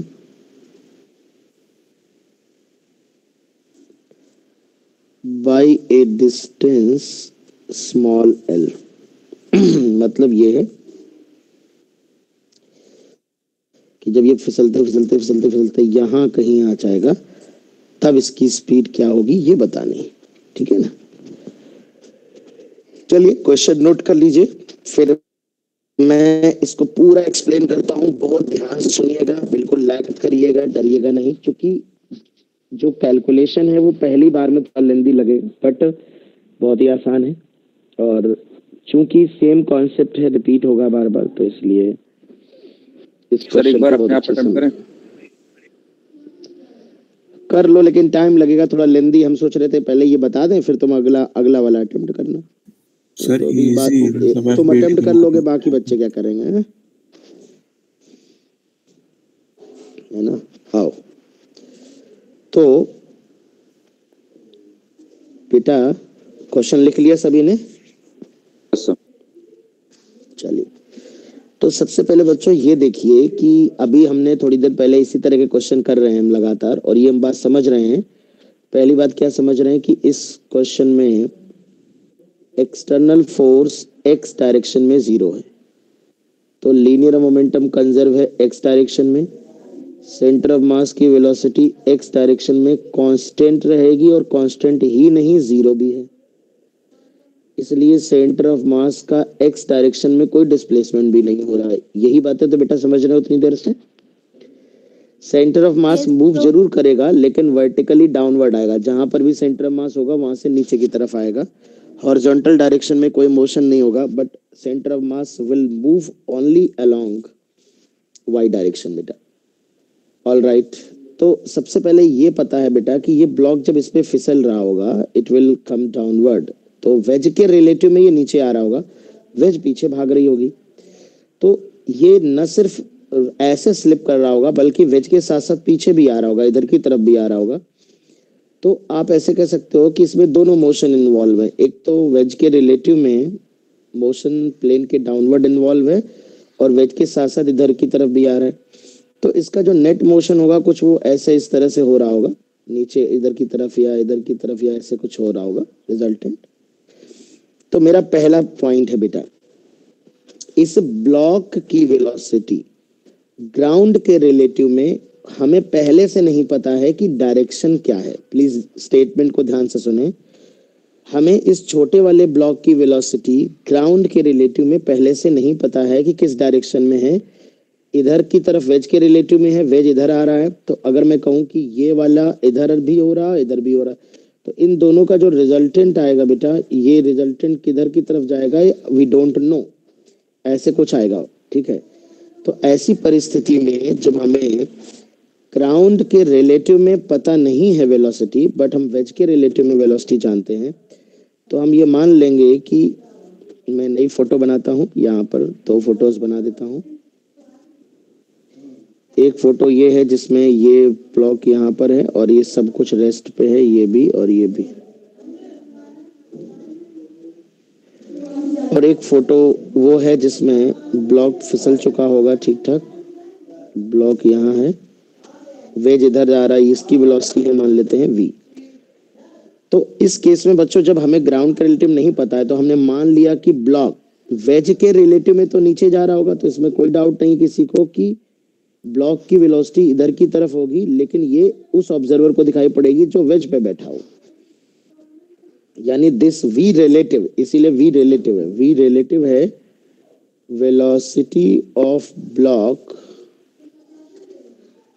with respect to wedge अब चूँकि पहला सवाल है तो मैं सारे कॉन्सेप्ट एक्सप्लेन करूँगा। प्लीज़ वन बाय वन बहुत ध्यान से चलते रहें। लेंथ ऑफ़ प्रॉब्लम को बिल्कुल मत देखें लेंथ बिल्कुल नहीं है। फ़र्स्ट प्रॉब्लम है एक्सप्लेन करने में थोड़ा वक्त लूँगा मैं। बच्चों रिलेटिव वेलोसिटी का लॉजिक है कि अगर मुझे, मान लीजिए ब्लॉक की वेलोसिटी वेज के रिलेटिव में चाहिए तो मुझे ब्लॉक की वेलोसिटी ग्राउंड के रिलेटिव में माइनस वेज की वेलोसिटी ग्राउंड के रिलेटिव में घटानी पड़ेगी। ये सिंपल रिलेटिव वेलोसिटी का फॉर्मूला है कि किसी एक की दूसरे के रिलेटिव बतानी है तो एक की वेलोसिटी माइनस दूसरे की वेलोसिटी कर दी जाती है, ठीक है ना? बिल्कुल क्लास इलेवेंथ का। लेकिन यहाँ हमने जो वी रिलेटिव मानी है वी रिलेटिव ये हमने मानी है ब्लॉक की वेलोसिटी ये गिवन है हमको वी आर हमने मानी है। पर हमें कंजर्वेशन ऑफ़ मोमेंटम में ग्राउंड वाली चाहिए होती है। तो ग्राउंड के रिलेटिव में अगर हमें वेलोसिटी निकालनी हो और हमें वेज के रिलेटिव में ब्लॉक की वेलोसिटी पता हो तो ये वाला वेक्टर जाके बेटा, ये ये वाला जो टर्म है, ये इधर जाके इसमें जुड़ जाएगा। तो इसको जब जोड़ देंगे तो velocity of wedge with respect to ground ये लॉजिक बेटा हम यहाँ पर लगा रहे हैं। लगातार यही यूज़ करते आ रहे हैं अभी भी, पर आज, अभी थोड़ा सा कॉन्सेप्चुअल बताना ज़रूरी है। अभी तक तो मैं व्यवहारिक तरीके से बता दे रहा था, क्योंकि टू डायमेंशनल केस नहीं था। यानी कि ये हम क्यों कर रहे हैं बच्चों? क्योंकि हमें सारी की सारी वेलोसिटी ग्राउंड के फ्रेम में ही चाहिए। हमें मोमेंटम कंजर्वेशन ग्राउंड के फ्रेम में लगाना है, हमें एनर्जी कंजर्वेशन ग्राउंड के फ्रेम में लगाना है। क्योंकि दूसरे फ्रेम ऑफ़ रेफरेंस में हो सकता है मोमेंटम कंजर्व ना हो बेटा। यहाँ पर जो नेट फोर्स ज़ीरो है हॉरिजॉन्टल डायरेक्शन में सिस्टम पे, वो ग्राउंड के फ्रेम में दिखाई पड़ रहा है बेटा। तो ग्राउंड के फ्रेम में बट हमें इसकी वेलोसिटी पता नहीं है तो हम कैसे निकालेंगे? हमें ये जो वेलोसिटी देख रहे हो, ये वाली फ़ोटो मेरे पॉइंटर को ध्यान से देखना। मैं जहाँ पॉइंटर इंडिकेट करता हूँ बहुत ध्यान से देखना। ये जो वेलोसिटी देख रहे हो, ये इस ब्लॉक की वेलोसिटी इस वेज के रिलेटिव में ठीक है? यानी ब्लॉक ये वाली वी रिलेटिव है, और ये जो वेज पीछे की तरफ़ भाग रही, ये वेज की वेलोसिटी ग्राउंड के रिलेटिव में है। तो इन दोनों वेक्टर को जब जोड़ दोगे तो जो नेट वेलोसिटी आएगी, वो ग्राउंड के रिलेटिव में वेलोसिटी होगी। तो इससे बाद में तुम व्यवहारिक तरीके से भी समझोगे कि भाई वेज के रिलेटिव में ये वेलोसिटी इधर की तरफ़ है और ये है ग्राउंड के रिलेटिव में। तो ये फ़र्स्ट वेक्टर ये वाला हो गया वी आर और ये सेकेंड वेक्टर ये वाला होगा। इन दोनों का जो रिजल्टेंट होगा, है ना, मैं थोड़ा सा एक्स वाई बना देता हूँ यहाँ पे। ये एंगल थीटा है। ये जो रिजल्टेंट होगा इन दोनों वेक्टर का बच्चों दैट इज़ द वेलोसिटी इन दोनों का जो रिजल्टेंट है it is the velocity of block with respect to ground इसकी रिजल्टेंट का प्रयोग हमें करना है मोमेंटम में। तो रिजल्टेंट निकालने के लिए या तो मैं लॉ ऑफ़ पैरेललोग्राम यूज़ करूँ, या मैं इसके दो कंपोनेंट कर लेता हूँ वी आर कॉस थीटा और वी आर साइन थीटा सबसे पहले तो मैं ब्लॉक की वेलोसिटी ग्राउंड के रिलेटिव में हमको मिल गई है। एक्स डायरेक्शन में मिल गई है। एक्स डायरेक्शन में अगर मैं राइट डायरेक्शन में मान लू, हालाँकि मूवमेंट तो V R cos theta minus V ये आई कैप में हो जाएगी और वी आर साइन थीटा ये बेटा जे कैप है। ये एक्स कंपोनेंट है और ये वाई कंपोनेंट है। किसकी? ब्लॉक की वेलोसिटी ग्राउंड के रिलेटिव में ठीक है? इतना सब लिखना नहीं पड़ेगा एग्ज़ाम में डोंट वरी जब हम नेक्स्ट प्रॉब्लम करेंगे तो आप देखोगे कितनी कम लाइनों में करेंगे। अभी मैं चाहता हूँ एक एक कॉन्सेप्ट सारा एक्सप्लेन कर दूँ मैं अच्छे से। तो ये तो हो गया कि ब्लॉक, फिर से सुने, ब्लॉक की वेलोसिटी हमने बेटा पॉइंटर ध्यान से देखें। ब्लॉक की वेलोसिटी हमने क्यों मानी वेज के रिलेटिव में? बिकॉज़ हमें ग्राउंड के रिलेटिव में जो इन दोनों वेक्टर का रिजल्टेंट आएगा, जो भी इधर बनेगा या उधर बनेगा, हमें नहीं पता था कि इसकी वेलोसिटी ग्राउंड के रिलेटिव में किधर है। नहीं तो हमें दो कंपोनेंट मानने पड़ेंगे, एक एक्स और एक वाई और फिर नंबर ऑफ़ इक्वेशंस बहुत बड़े। के रिलेटिव में मानना हमारी मजबूरी थी। बिकॉज़ वेज में ऐसे फिसलता चला रहा था तो हमें डायरेक्शन पता थी। लेकिन हम वेज के रिलेटिव में रख नहीं सकते थे, क्योंकि हमें मोमेंटम कंजर्व करना है ग्राउंड के रिलेटिव में। उसमें जब वेज वाला वेक्टर ये वाला वेक्टर जब जोड़ेंगे, तब जो रिजल्टेंट बनेगा, ये जो वेक्टर बनेगा, ये ग्राउंड के रिलेटिव में वेलोसिटी आ गई है। Okay now we are ready to solve this problem we are ready to apply the problems use हो रहे हैं यहाँ पर। पहला कॉन्सेप्ट एक्स डायरेक्शन में एक्सटर्नल फोर्स ना होने के कारण लीनियर मोमेंटम कंजर्वेशन है एक्स डायरेक्शन में। दूसरा नॉन कंजर्वेटिव फोर्स ना होने के कारण मैकेनिकल एनर्जी कंजर्वेशन लगाएँगे। तो दो कॉन्सेप्ट यूज़ हो रहे हैं। एक कंजर्वेशन ऑफ़ मैकेनिकल एनर्जी मैं ऑलरेडी आपको बता चुका हूँ बच्चों, पूरी फिजिक्स के, पूरी मैकेनिक्स के क्वेश्चन तीन चार प्रिंसिपल पे सॉल्व होते हैं। Conservation of energy and work energy theorem conservation of momentum impulse and conservation of angular momentum तो रोटेशन में हम एंगुलर मोमेंटम और इम्पल्स वगैरह पढ़ लेंगे। चलिए तो लेट अस डिस्कस देगा एमईसी कहाँ पे लगाया है अभी बता देंगे। मैकेनिकल एनर्जी कंजर्वेशन तो तब लगाएँगे ना जब किसी सिस्टम में कोई फ्रिक्शनल फोर्सेस ना हो कोई एक्सटर्नल एजेंट्स ना हो जो बाहर से मैकेनिकल वर्क कर रहे हैं। तो Yes. यहाँ पर तुम देखो केवल इस छोटे वाले ब्लॉक का जो एमजी होगा ना यही केवल वर्क लगा रहा है। मतलब इसका एम Yes. केवल वर्क करेगा और तो कोई वर्क करेगा नहीं। केवल ग्रेविटेशनल फोर्स वर्क करेगा। जब केवल कंजर्वेटिव फोर्स वर्क करते हैं तब मैकेनिकल एनर्जी कंजर्व रहती है। कंजर्वेटिव फोर्स के अलावा अगर कोई नॉन कंजर्वेटिव या बाहरी एजेंट आ जाए तो वो मैकेनिकल एनर्जी में चेंज कर देते हैं। जैसे फ्रिक्शनल फोर्सेस मैकेनिकल एनर्जी का लॉस करते हैं एजेंट लॉस और गेन दोनों में कुछ भी कर सकते हैं ना? यस सर चलिए सर इसका आंसर तो क्या आएगा आंसर तो नहीं पता मुझे आंसर मैं लेके नहीं बैठता। बेटा तो क्वेश्चन तो मैं अपनी तरफ़ से ले लेता हूँ। G M under two g M by four आ रहा है। Let's see let's see match करा लीजिएगा आप इक्वेशंस में बना देता हूँ। चलिए तो initial momentum initial momentum is equal to final momentum initial momentum zero है सिस्टम का। फाइनल मोमेंटम देखिए क्या है। वेज आ रहा है पीछे की तरफ़ तो माइनस फोर एम वी ये वेज का momentum wedge is coming towards left ये देखिए वेज लेफ़्ट में आ रहा है। और ब्लॉक का मोमेंटम राइट डायरेक्शन में देखिए एक्स कंपोनेंट क्या है वेलोसिटी का? ये है v r cos theta minus v बेटा टूवर्ड्स राइट थीटा है थर्टी सेवन माइनस वी तो यहाँ से वी की वैल्यू आ रही है m v r cos thirty seven है four by five divide by five m आएगा ये after simplification four v r by twenty five this is equation number one तो v r v is equal to four v relative upon twenty five ये first relation आ गया। Mechanical energy conservation भी लगा सकते हो और you can apply work energy theorem ठीक है? तो मैकेनिकल एनर्जी कंजर्वेशन कहता है initial potential energy plus initial kinetic energy final potential energy plus final kinetic energy initial potential energy को इनिशियली लिखेगा रहने दो। काइनेटिक एनर्जी ज़ीरो है दो ब्लॉक हैं दोनों की ज़ीरो ज़ीरो है ना। अब फाइनल पोटेंशियल एनर्जी में देखो जरा। जब ये ब्लॉक स्लिप करके नीचे आएगा यहाँ से एल डिस्टेंस नीचे आ रहा है ना इन्होंने कहा एल मूव कर जाएगा ये एल दिया गया है तो ये लेंथ एल साइन थीटा तो एल साइन थीटा हो जाएगी हाइट उसकी। और वेज की पोटेंशियल एनर्जी में चेंज नहीं आएगा क्योंकि वेज का मोशन हॉरिजॉन्टल हो रहा है। हॉरिजॉन्टल मोशन में सेंटर मास के लेवल में कोई चेंज नहीं हो रहा। तो जो भी इनिशियल पोटेंशियल एनर्जी होगी उसमें घट जाएगा एम जी एच एच हो जाएगा एल साइन थीटा ये है फ्लॉक की फाइनल पोटेंशियल एनर्जी उसमें ये घटा है। जो भी इनिशियल है उसको हमने मान लिया था कुछ। तो ये तो कट ही जाना है वैसे भी। और काइनेटिक एनर्जी में फोर एम वी स्क्वायर अब देखिए, यहीं पे खेल हो जाएगा आपका। जब आप ब्लॉक की काइनेटिक एनर्जी लिखोगे तो आप ब्लॉक की स्पीड इस वेक्टर का रिजल्टेंट लिखोगे। भूल मत जाना। इस वेक्टर का रिजल्टेंट लिखोगे बच्चों। तो ये वेक्टर का एक्स कंपोनेंट, ये वाई कंपोनेंट है। रिजल्टेंट होता है under root a square plus b square या under root x square plus y square तो ये वेक्टर यहाँ बस यहीं पे गंदगी गंदा महसूस होता है हमको, सभी बच्चों को, क्योंकि ये थोड़ा सा लिखने में स्ट्रेस कुछ नहीं, पहले आप मैग्नीट्यूड पहले निकाल लो, हम इसलिए कह रहे हैं।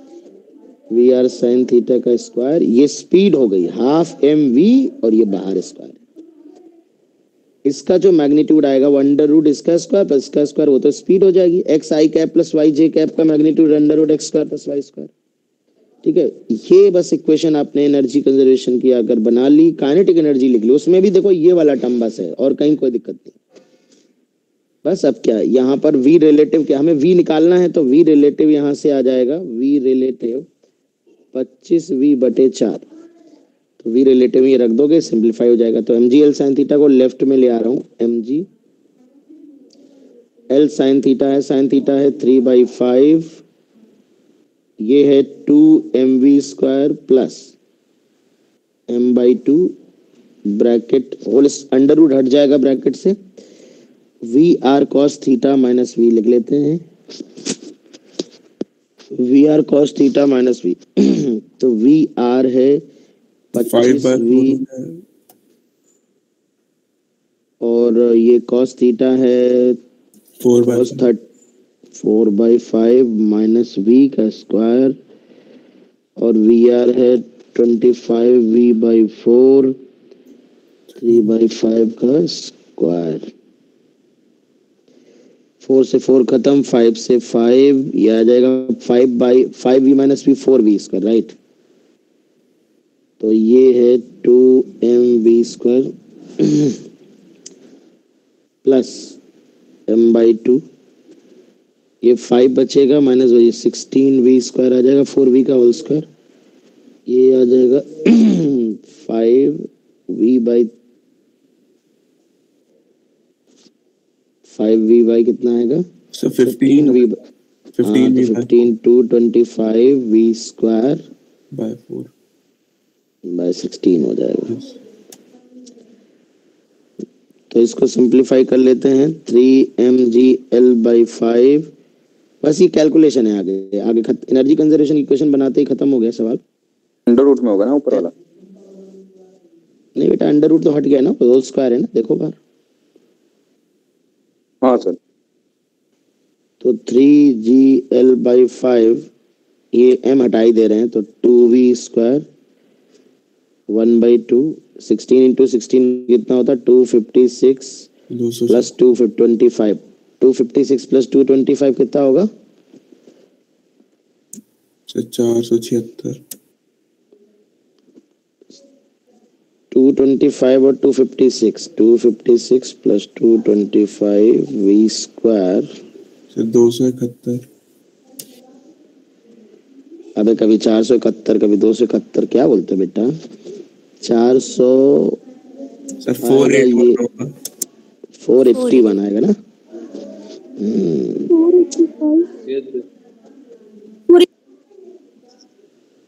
तो ये आ रहा है वी स्क्वायर आ गया कॉमन और जोड़ लो अभी ये फोर एट्टी वन है ना?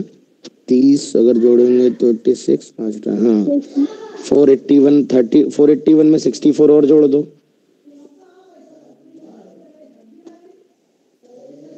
Five fifty five four five hmm, तो five forty five v square divide by thirty तो बस वी आ गया तुम्हारा। थ्री से डिवाइड हो रहा है क्या ये? नहीं हो रहा। नहीं सर तो थर्टी टू इंटू तो ninety six g l divide by five into five forty five this is the answer ये कैलकुलेशन थोड़ा बल्कि इसलिए लग रहा है क्योंकि डेटा मैंने अपने घर से बना दिया है। बुक के डेटा के अकॉर्डिंग ये कैलकुलेशन सिंप्लीफाइड हो। मेन प्रॉब्लम तुम्हारी यहाँ खत्म हो गई बेटा। यहाँ से सवाल खत्म हो गया। सर मैकेनिकल एनर्जी कंजर्वेशन का जो इक्वेशन बनाया है उसे फिर से बता दीजिए। बेटा ये तुम्हें मतलब अगर नहीं समझ पा रहे हो तो ये बेसिक कॉन्सेप्ट की कमज़ोरी है बेटा। क्योंकि ऐसे तुम लोग रोज पूछ रहे हो मैकेनिकल एनर्जी कंजर्वेशन तो इस पे काम करो थोड़ा सा। ठीक है ना? इस पे काम करो। बताओ इसमें क्या स्टेप समझ नहीं आ रहे। नहीं तो ये बीमारी खत्म नहीं होगी। बताओ अच्छा क्या दिक्कत है इसमें? क्या समझ नहीं आया? चलिए एक बार फिर से बता दीजिए। नहीं क्यों बता दूँ मैं फिर से? बताओ तो कौन सा टर्म समझ नहीं है ये इक्वेशन जानते हो? ये सुनिए कभी। ये सर हाँ तो बस इनिशियल पोटेंशियल एनर्जी को मैंने उस इनिशियली रहने दिया। ब्लॉक रेस्ट पे थे तो दोनों के ज़ीरो ज़ीरो है। ये बेटा ऐसे नहीं पता समझ पाओगे? ऐसे तुम हर क्वेश्चन में पूछोगे। पहले हर क्वेश्चन में की पॉइंट होता है जहाँ बच्चा गड़बड़ कर रहा होता है। इसमें कोई ऐसी बात होगी जो तुम्हें नहीं समझ आ रही है बार बार वो अभी मैं बता दूँगा, तुम समझ जाओगे या मेरे प्रेशर में आके हाँ कर दोगे। कल फिर तुम्हें नहीं हो पाएगा, इसलिए तुम वो जड़ पहचानोगे क्यों नहीं तुम ये समझ पा रहे हो? तुम ये अप्लाई नहीं करते हो या तुम्हें पता ही नहीं है एनर्जी कंजर्वेशन कैसे अप्लाई करते हैं। भाई पोटेंशियल एनर्जी लिख रहे हैं काइनेटिक एनर्जी काइनेटिक एनर्जी के फॉर्मूले जानते हो? Half m v square initially rest पे है दोनों। तो ज़ीरो प्लस ज़ीरो हो गया। पोटेंशियल एनर्जी हमें इनिशियल क्या है? जो होती है, मान लेते हैं कि इनिशियल होगी कुछ। मुझे क्या करना है? नहीं जानना है इनिशियल कितनी थी। ठीक है? अब आता है फाइनल पोटेंशियल एनर्जी कैसी लिखी जाए। तो ये देखा जाता है। मैंने एक छोटी सी बात बताई है। कोई ब्लॉक अगर एच हाइट नीचे आ रहा है तो जो भी उसकी इनिशियल पोटेंशियल एनर्जी होगी, उसमें से एम कम हो जाएगी। अगर कोई ब्लॉक यहाँ पे है, यहाँ पे है, और ये यहाँ पर आ गया तो अगर इसमें हाइट का डिफरेंस एच होगा यहाँ जो भी पोटेंशियल एनर्जी अगर U1 है तो यहाँ U1 वन माइनस एम होगी, जो U2 की वैल्यू होगी। अगर यहाँ लिखना है U2 तो U2 अगर ऊपर जा रहा है तो U2 प्लस एम होगी। तो पहले तो ये बात तो नाइन्थ में पड़ी होगी कि एम जो होता है, ये चेंज ऑफ़ पोटेंशियल एनर्जी होता है। तो ये देखो, जो छोटा वाला ब्लॉक था, ये एल एल डिस्टेंस नीचे आया था तो हाइट क्या हो गई? एल साइन थीटा तो यू इनिशियल ये बस बल्कि क्वेश्चन होने की वजह से आप डर गए। इसको डिकोड किया करो, टुकड़ों में तोड़ा करो।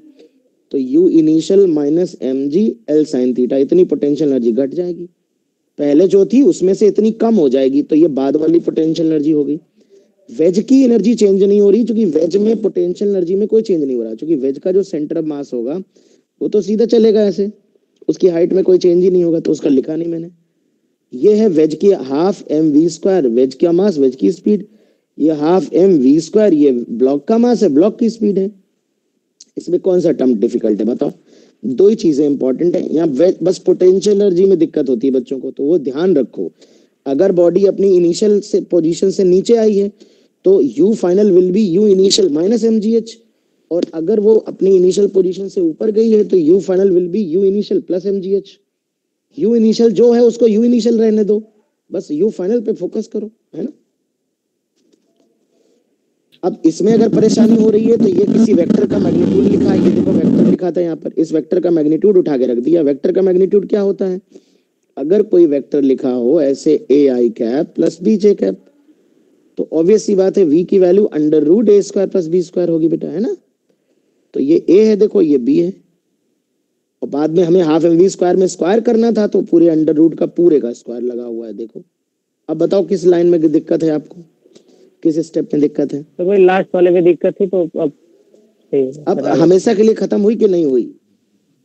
ये सर हाँ गड़बड़ ना करना ये गड़बड़ ना किया करो। इसको पहचाना करो की पॉइंट पहचाना करो। इसको देखो ऊपर से लबड़ गबड़ देखोगे तो हमेशा दिक्कत रहेगी। कोशिश ये करो कि जो डाउट आपके मन में आया है उसको समझ लो अच्छे से ताकि वो दोबारा गड़बड़ ना हो अन्य सवालों में। चलिए तो इसमें फिर जी बता दीजिए। आवाज़ नहीं आ रही आपकी। आपकी जो स्पीड थी रिपीट कर दीजिए। नहीं सुन पा रहा हूँ मैं। हेलो कौन बोल रहा है? बेटा भरभरा रही है आपकी आवाज़। मुझे आवाज़ सच में नहीं सुना। सर वो कह रहे हैं स्पीड कैसे निकाली जाए स्पीड कैसे निकाली है? किसकी स्पीड ब्लॉक बेटा ब्लॉक की स्पीड ऐसे निकालिए कि ब्लॉक वेज के रिलेटिव में वेज के रिलेटिव में ब्लॉक ऐसे जा रहा है। और वेज ऐसे जा रही है। तो इन दोनों का जो वेक्टर रिजल्टेंट है, वो निकाला है बेटा। वेक्टर रिजल्टेंट में हमने क्या किया है? इस वेक्टर के दो कंपोनेंट किए हैं। वी आर कॉस थीटा ये वी आर साइन थीटा ठीक है ना? तो इन दोनों इस इस इन दोनों का जो वेक्टर एडिशन होगा वो इस डायरेक्शन में आ गया v r cos theta minus v और ये आ गया वी आर साइन थीटा फिर इन दोनों का जो रिजल्टेंट आएगा वो फाइनली ये आएगा ब्लॉक की स्पीड ग्राउंड के रिलेटिव में जो कि अंडर रूट इसका स्क्वायर प्लस इसका स्क्वायर होगा। वही तो मैं बता रहा हूँ उतनी देर से।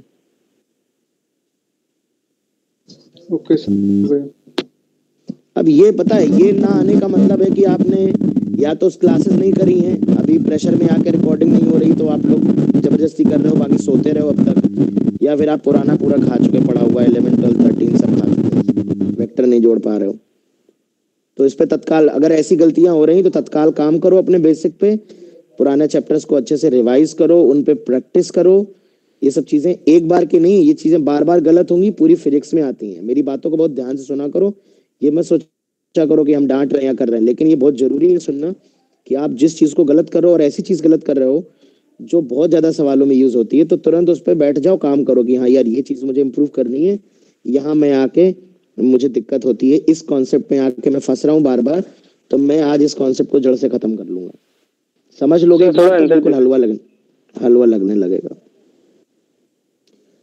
चलिए बच्चों तो एक प्रॉब्लम बच्चों और अंदर करते हैं हम लोग। आंसर तो मुझे नहीं पता है। आंसर का कैलकुलेशन क्यों भरोसा? आंसर क्यों देख रहे हो? अपना करना ना क्या पता कैलकुलेशन ही गलत हो बीच में? देख लो, फिर भी five into five forty five है नीचे। उसको सिंप्लीफाई नहीं किया हम लोगों ने। किया तो मिल के ही है वैसे। चलिए, अब हम लोग एक क्वेश्चन करते हैं। बिल्कुल कॉमन क्वेश्चन है सिमिलर क्वेश्चन है, एकदम कॉपीड क्वेश्चन है। ये एक हेमिस्फेरिकल सॉलिड स्फीयर है।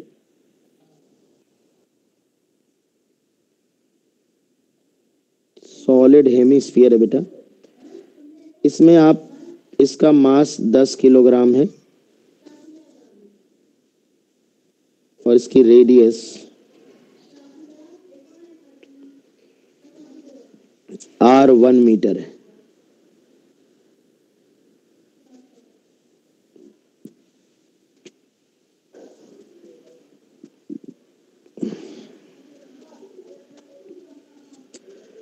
वन के जी का ब्लॉक है है ना?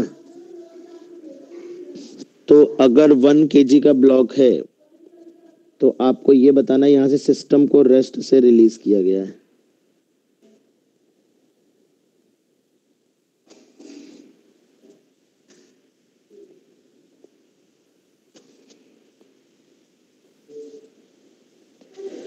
जब ये किसी पर्टिकुलर एंगल थीटा पे पहुंचेगा।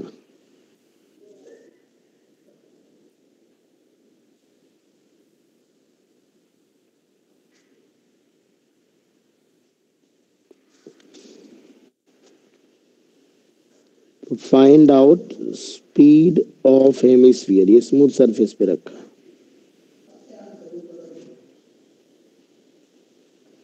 ऐसा करो आप, इसको स्मॉल एम कैपिटल एम ले लो। क्योंकि डेटा थोड़ा सा इनकंसिस्टेंट हो सकता है। आपसे भी क्वेश्चन बनाओ। वेस्फियर का मास कैपिटल एम है, इसका स्मॉल एम है और ये जब इसमें स्लिप करना स्टार्ट करेगा और जब ये थीटा एंगल पे आएगा, ठीक है? Find out speed of hemisphere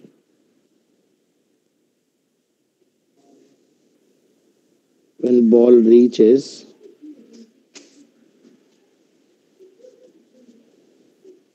at angular position theta.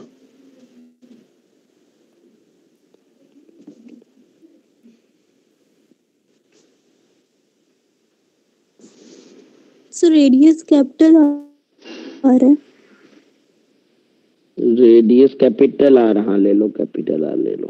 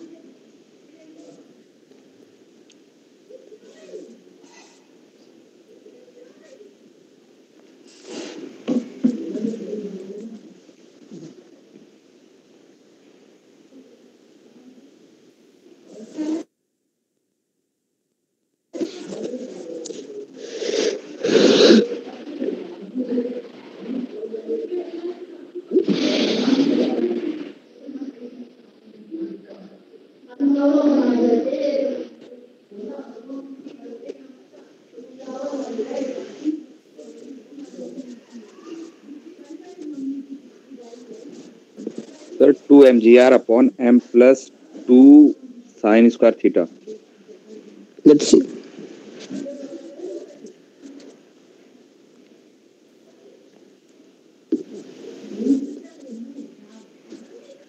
अब जैसे इन सवालों में सबसे बड़ी इम्पोर्टेंट पॉइंट यही होता है कि हमें पहले से ये नहीं पता होता कि ब्लॉक का मोशन किस डायरेक्शन में हो रहा होगा। इसलिए ब्लॉक का मोशन हमें ये ज़रूर पता होता है कि जब ये किसी थीटा एंगल पे होगा, जब ये किसी थीटा एंगल पे होगा तो ये वेज के रिलेटिव में वर्टिकल सर्कुलर मोशन कर रहा होगा। वेज के रिलेटिव में वर्टिकल सर्कुलर मोशन कर रहा होगा। तो वेज के रिलेटिव में वेलोसिटी जो होगी वो टेंजेंशियल होगी। ये कंफर्म है वी रिलेटिव टेंजेंशियल और वेज पीछे भाग रही है वेलोसिटी से। If this angle is theta this angle is also theta, this is 91 is theta, and this will be theta. ये थीटा होगा ऑल्टरनेट एंगल है, ये 90 माइनस थीटा होगा, ये थीटा होगा। तो फिर वही बात है कि ये v रिलेटिव है। देखिए, बिल्कुल सिमिलर बात है। ये थीटा है और ये v है। इन दोनों का जो रिजल्टेंट होगा, अभी अभी निकाला था, वो हमारा ग्राउंड के रिलेटिव में वेलोसिटी हो जाएगी। अब रहा सवाल, देख लो कितना हाइट नीचे आ रहा है। तो ये वाली हाइट नापनी बहुत ज़रूरी है एच तो ये एच आएगा आर कॉस थीटा देखो, ये वाली हाइट होगी आर कॉस थीटा और पूरी हाइट थी आर यहाँ से यहाँ आया है तो ये ये वाली आर है। देखना पॉइंटर ध्यान से। ये आर है और ये आर कॉस थीटा हो जाएगा इसका सामने वाला थीटा के बगल वाला कॉस पूरा आर था। यहाँ से यहाँ आया है तो हाइट सिर्फ़ नोट करनी है। R minus r cos theta clear है बेटा? अब आप देखो, एक लीनियर मोमेंटम कंजर्वेशन कर लो, क्योंकि एक्सटर्नल फोर्स नहीं हॉरिजॉन्टल डायरेक्शन में। तो पहले मोमेंटम ज़ीरो है, बाद में momentum minus m v plus m v relative cos theta minus v same equation बन रही है, उठा के कॉपी कर लो, चाहो तो पुरानी। कोई चेंज नहीं है, इसलिए मैंने कहा पहली बार देखने में टफ लगता है, दोबारा में एकदम कूड़ा हो जाता है। ओके एनर्जी कंजर्वेशन देख लो। ध्यान से देखना इनिशियल पोटेंशियल एनर्जी लिख ली इनिशियल काइनेटिक एनर्जी दोनों की ज़ीरो है। इनिशियल पोटेंशियल एनर्जी में कम होगा कि बढ़ेगा बताओ जल्दी से। कम। कम होगा। कितना, कम होगा? माइनस अच्छा वेज का कम तो हो नहीं रहा है पार्टिकल का कम हो रहा है minus m g h h की जगह क्या लिखे r minus very good very good ये फाइनल पोटेंशियल एनर्जी हो गई। वेज की kinetic energy capital m v square, और पार्टिकल की काइनेटिक एनर्जी वही अंडर रूट वाला गंदा स्पीड लिख दो। V r cos theta minus v v r sine theta का स्क्वायर है ना? तो ये कैंसिल बस दो इक्वेशन बनानी होती है, बताओ कितना टाइम लगा? खत्म सवाल। सवाल खत्म हो गया आगे तो कैलकुलेशन है केवल v तो इसकी वेलोसिटी को हमें याद रखना है क्या? नहीं याद क्यों रखना है? अभी अभी ताज़ा ताज़ा बताया। दोबारा नहीं बताया। हाँ? अच्छा सर अच्छा। अभी ताज़ा ताज़ा लिखा था ना इसलिए दोबारा नहीं लिखा। वेक्टर तो देख अरे देखो आदर्श। ये एक्स कंपोनेंट देखो कितना है। इसका v r cos theta minus v होगा। तो एक्स सर वो तो आ गया था। हाँ वेक्टर रिजल्टेंट कैसे लेते हो? एक्स कंपोनेंट का स्क्वायर वाई कंपोनेंट का स्क्वायर याद क्यों रखोगे? मैं ये कह रहा हूँ, ऐसा ही बार बार यूज़ होता है। इसलिए जहाँ तीन चार सवाल लगाओगे, वहीं खत्म हो जाएगा तुमको। कह रहे ये तो बहुत ही कूड़ा सवाल है। है ना? तो कोई अगर आपसे पूछे कि यार वेज के रिलेटिव में क्यों मान रहे हो? जब यूज़ ग्राउंड के रिलेटिव में ही करना है तुमको, ये वाली ग्राउंड के रिलेटिव में तो तुम कह सकते हो कि मजबूरी है, हमें वेज के रिलेटिव में डायरेक्शन पता है कि वेज के रिलेटिव में सर्कुलर मोशन कर रहा होगा तो टेंजेंशियल होगी ग्राउंड के रिलेटिव में हमें पता ही नहीं है किधर जा रहा है, ये पार्टिकल किधर जा रहा है। तो ग्राउंड के रिलेटिव में अगर मानोगे तो एक कंपोनेंट मानना पड़ेगा एक्स कंपोनेंट मानना पड़ेगा वाई तो वी एक्स वी वाई एक अननोन एक्स्ट्रा बढ़ जाएगा, फिर नॉर्मल कंस्टेंट लगाना पड़ेगा, और दिमाग लगाना पड़ेगा। वैसे दिमाग की कमी है तुम लोग के पास। इसलिए मैं वो मल तरीका नहीं बता रहा आप लोग को। ठीक। तो भैया, इस तरह एक प्रॉब्लम मैं और देता हूँ, थोड़ा सा अलग है। अच्छा ऐसा अगर हमें ग्राउंड के रिलेटिव में डायरेक्शन पता हो तो हम नहीं मानेंगे फिर वेज के रिलेटिव में। आओ, इस एग्ज़ाम्पल को देखो थोड़ा सा अभी जो एक एग्ज़ाम्पल किया था हम लोगों ने।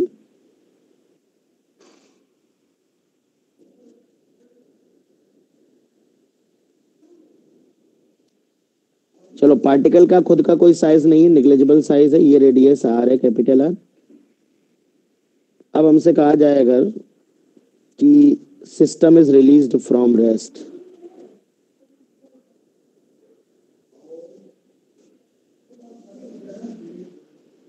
system को रेस्ट से रिलीज़ किया गया। और ये पार्टिकल जब स्लिप करते करते करते करते यहाँ आ जाएगा, है ना?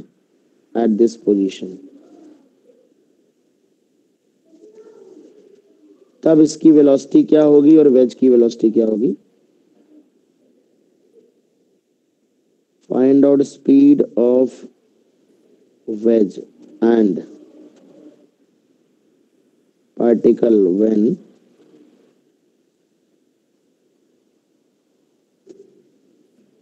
particle reaches the bottom जब पार्टिकल बॉटम पे पहुंचेगा ऑल सर्फेसेस आर स्मूथ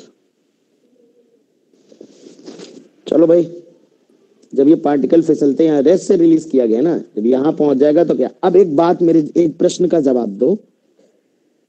यहाँ पर चूँकि ये लोवेस्ट पॉइंट है, इस पॉइंट पर है, और इस पॉइंट पे पार्टिकल वेज के रिलेटिव में भी इधर ही जा रहा होगा, और टेंजेंशियल हॉरिजॉन्टल डायरेक्शन में।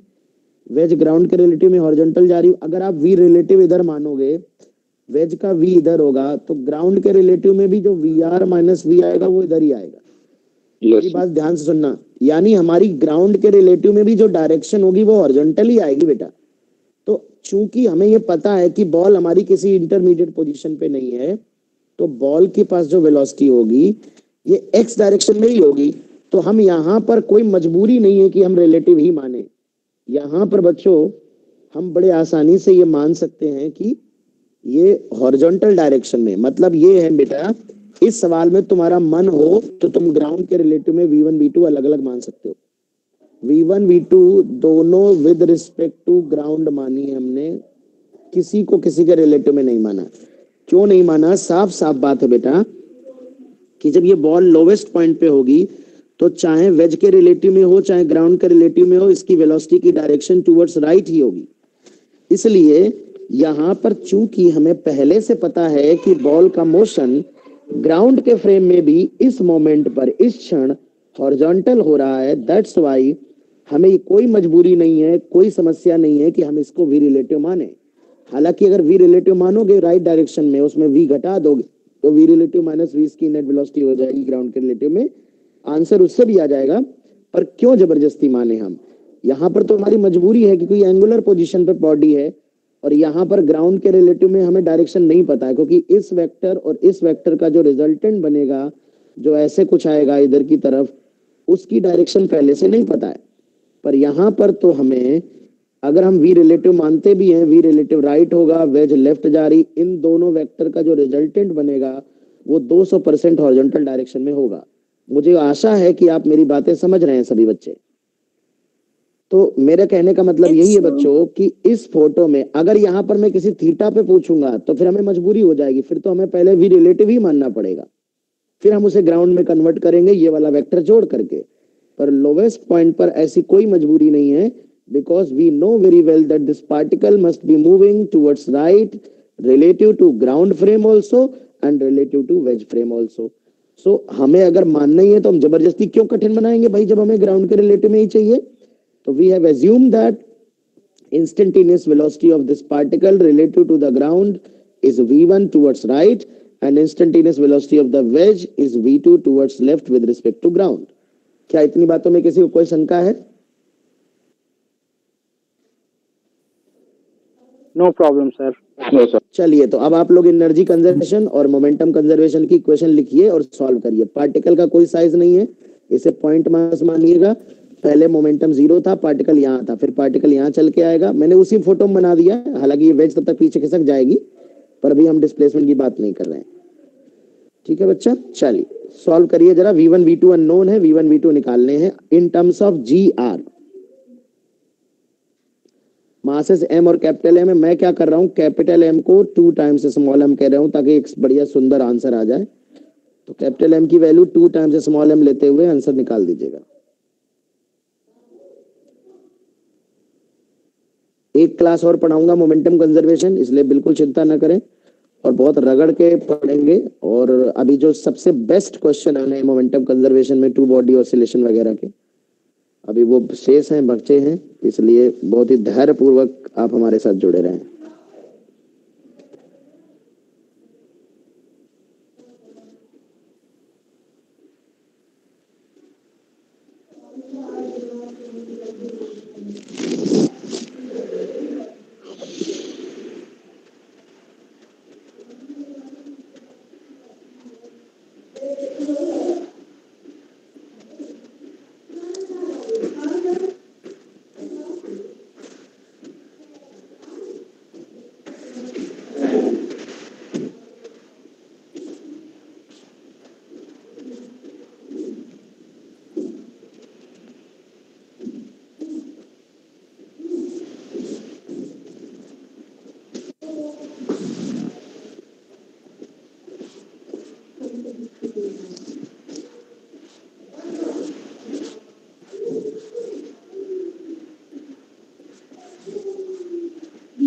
Under root g r by three v two yes sir v two Yes, sir. Root में जी आर बाई थ्री आएगा यस सर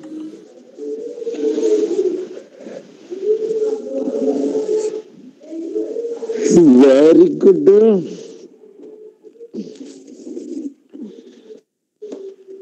देखते हैं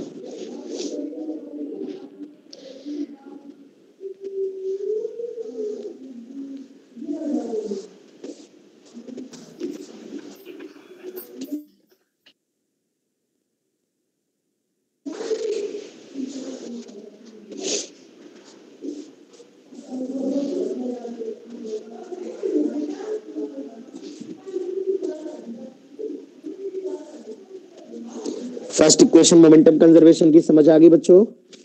Yes, sir. Okay Yes, sir. दूसरी इक्वेशन मैकेनिकल एनर्जी कंजर्वेशन की लगाते हैं चलिए। ये पार्टिकल नीचे आ रहा है तो लिख लेते हैं initial mechanical potential energy kinetic energy दोनों की ज़ीरो है। वेज की चेंज नहीं हो रही है तो इनिशियल में से पार्टिकल की बस एम घट जाएगी। कोई दिक्कत किसी को? फाइनल पोटेंशियल एनर्जी में? No, sir. Half m v one square ये हो जाएगा। यू इनिशियल से यू इनिशियल खत्म हो जाएगा बेटा। चलिए तो हम इसको सॉल्व कर लेते हैं। एम जी आर को ले आए लेफ़्ट में। एम वी टू स्क्वायर लिख लेते हैं। Plus m by two v one square लिख लेंगे। फोर वी टू स्क्वायर तो ये three v two square equal to g r तो वी टू आ रहा होगा अंडर रूट के अंदर g r by three yes और वी आ रहा होगा टू टाइम्स अंडर रूट के अंदर जी आर बाई थ्री देखो भाई आंसर मैच कराओ. Sir. Good good very good अति उत्तम. इसलिए बहुत सोच समझ के करना है। आपको बहुत रटना नहीं है कि हाँ ऐसे ही करना है। कई बार प्रॉब्लम रिलेटिवली आसान होता है है ना? तो आप आसानी से कर सकते हैं उसको है ना? चलिए भाई।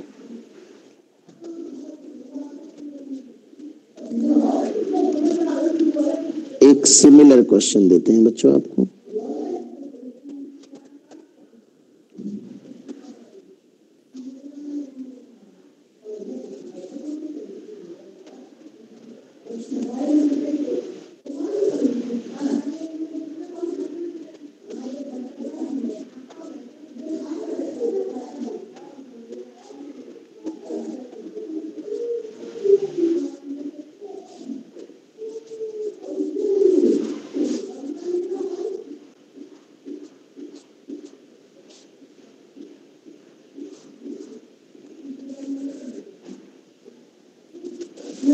ये कैपिटल एम मास का ट्रॉली है जो स्मूथ सरफेस पे रखे।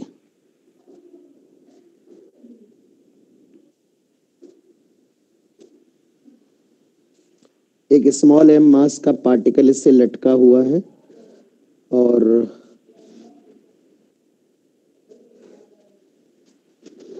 एल लेंथ का पार्टिकल है। इससे कुछ वी नॉट दे दी जाती है। पार्टिकल को। इनिशियल वेलोसिटी हॉरिजॉन्टल है, उसकी वी नॉट ठीक है? और इस स्टेट से सिस्टम को छोड़ दिया गया है। मतलब इनिशियल वेलोसिटी इसको पार्टिकल को वी नॉट दे दी गई है। अब आपको बताना है कि ये थ्रेड मैक्सिमम कितना एंगल बनाएगा। ये गिवन है कि ये इतनी वेलोसिटी दी गई है कि ना तो ये इस फ्लोर से कोलाइड कर रहा है, ना ये सरफेस से कोलाइड कर रहा है, ये किसी एंगल पे जाएगा मैक्सिमम थीटा और यहाँ पे जाके रुक जाएगा, है ना? तो find out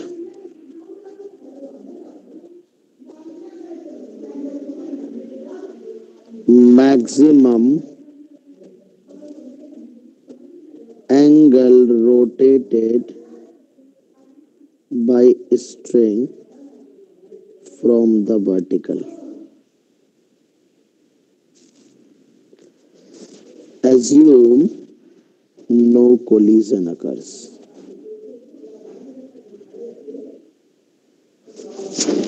चलें बताएं भाई put your answer in terms of G, L, M, capital M.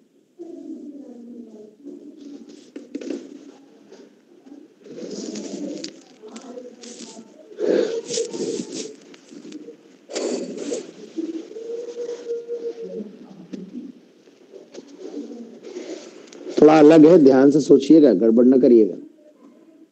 Veg initially rest पे है पार्टिकल के पास वेलोसिटी है, ठीक है ना? उस वेलोसिटी कारण पार्टिकल चढ़ेगा।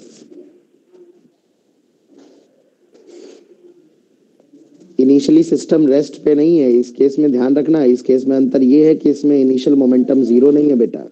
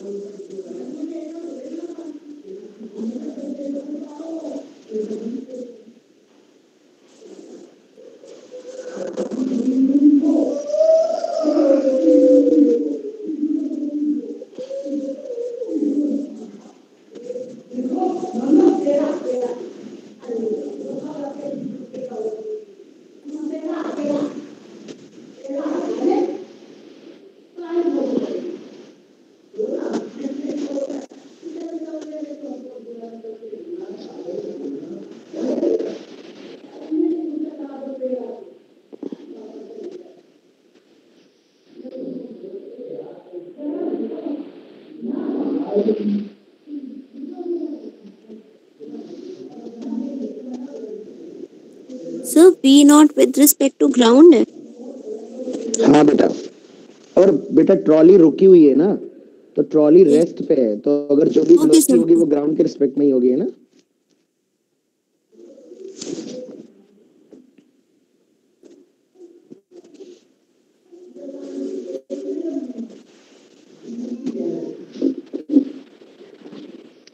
अगर लेक्चर वन किसी का मिस हुआ है तो उसकी रिकॉर्डिंग अपने लीजेंड्स ऑफ़ फिजिक्स वाले चैनल पे पड़ गई है तो आप लोग देख सकते हैं।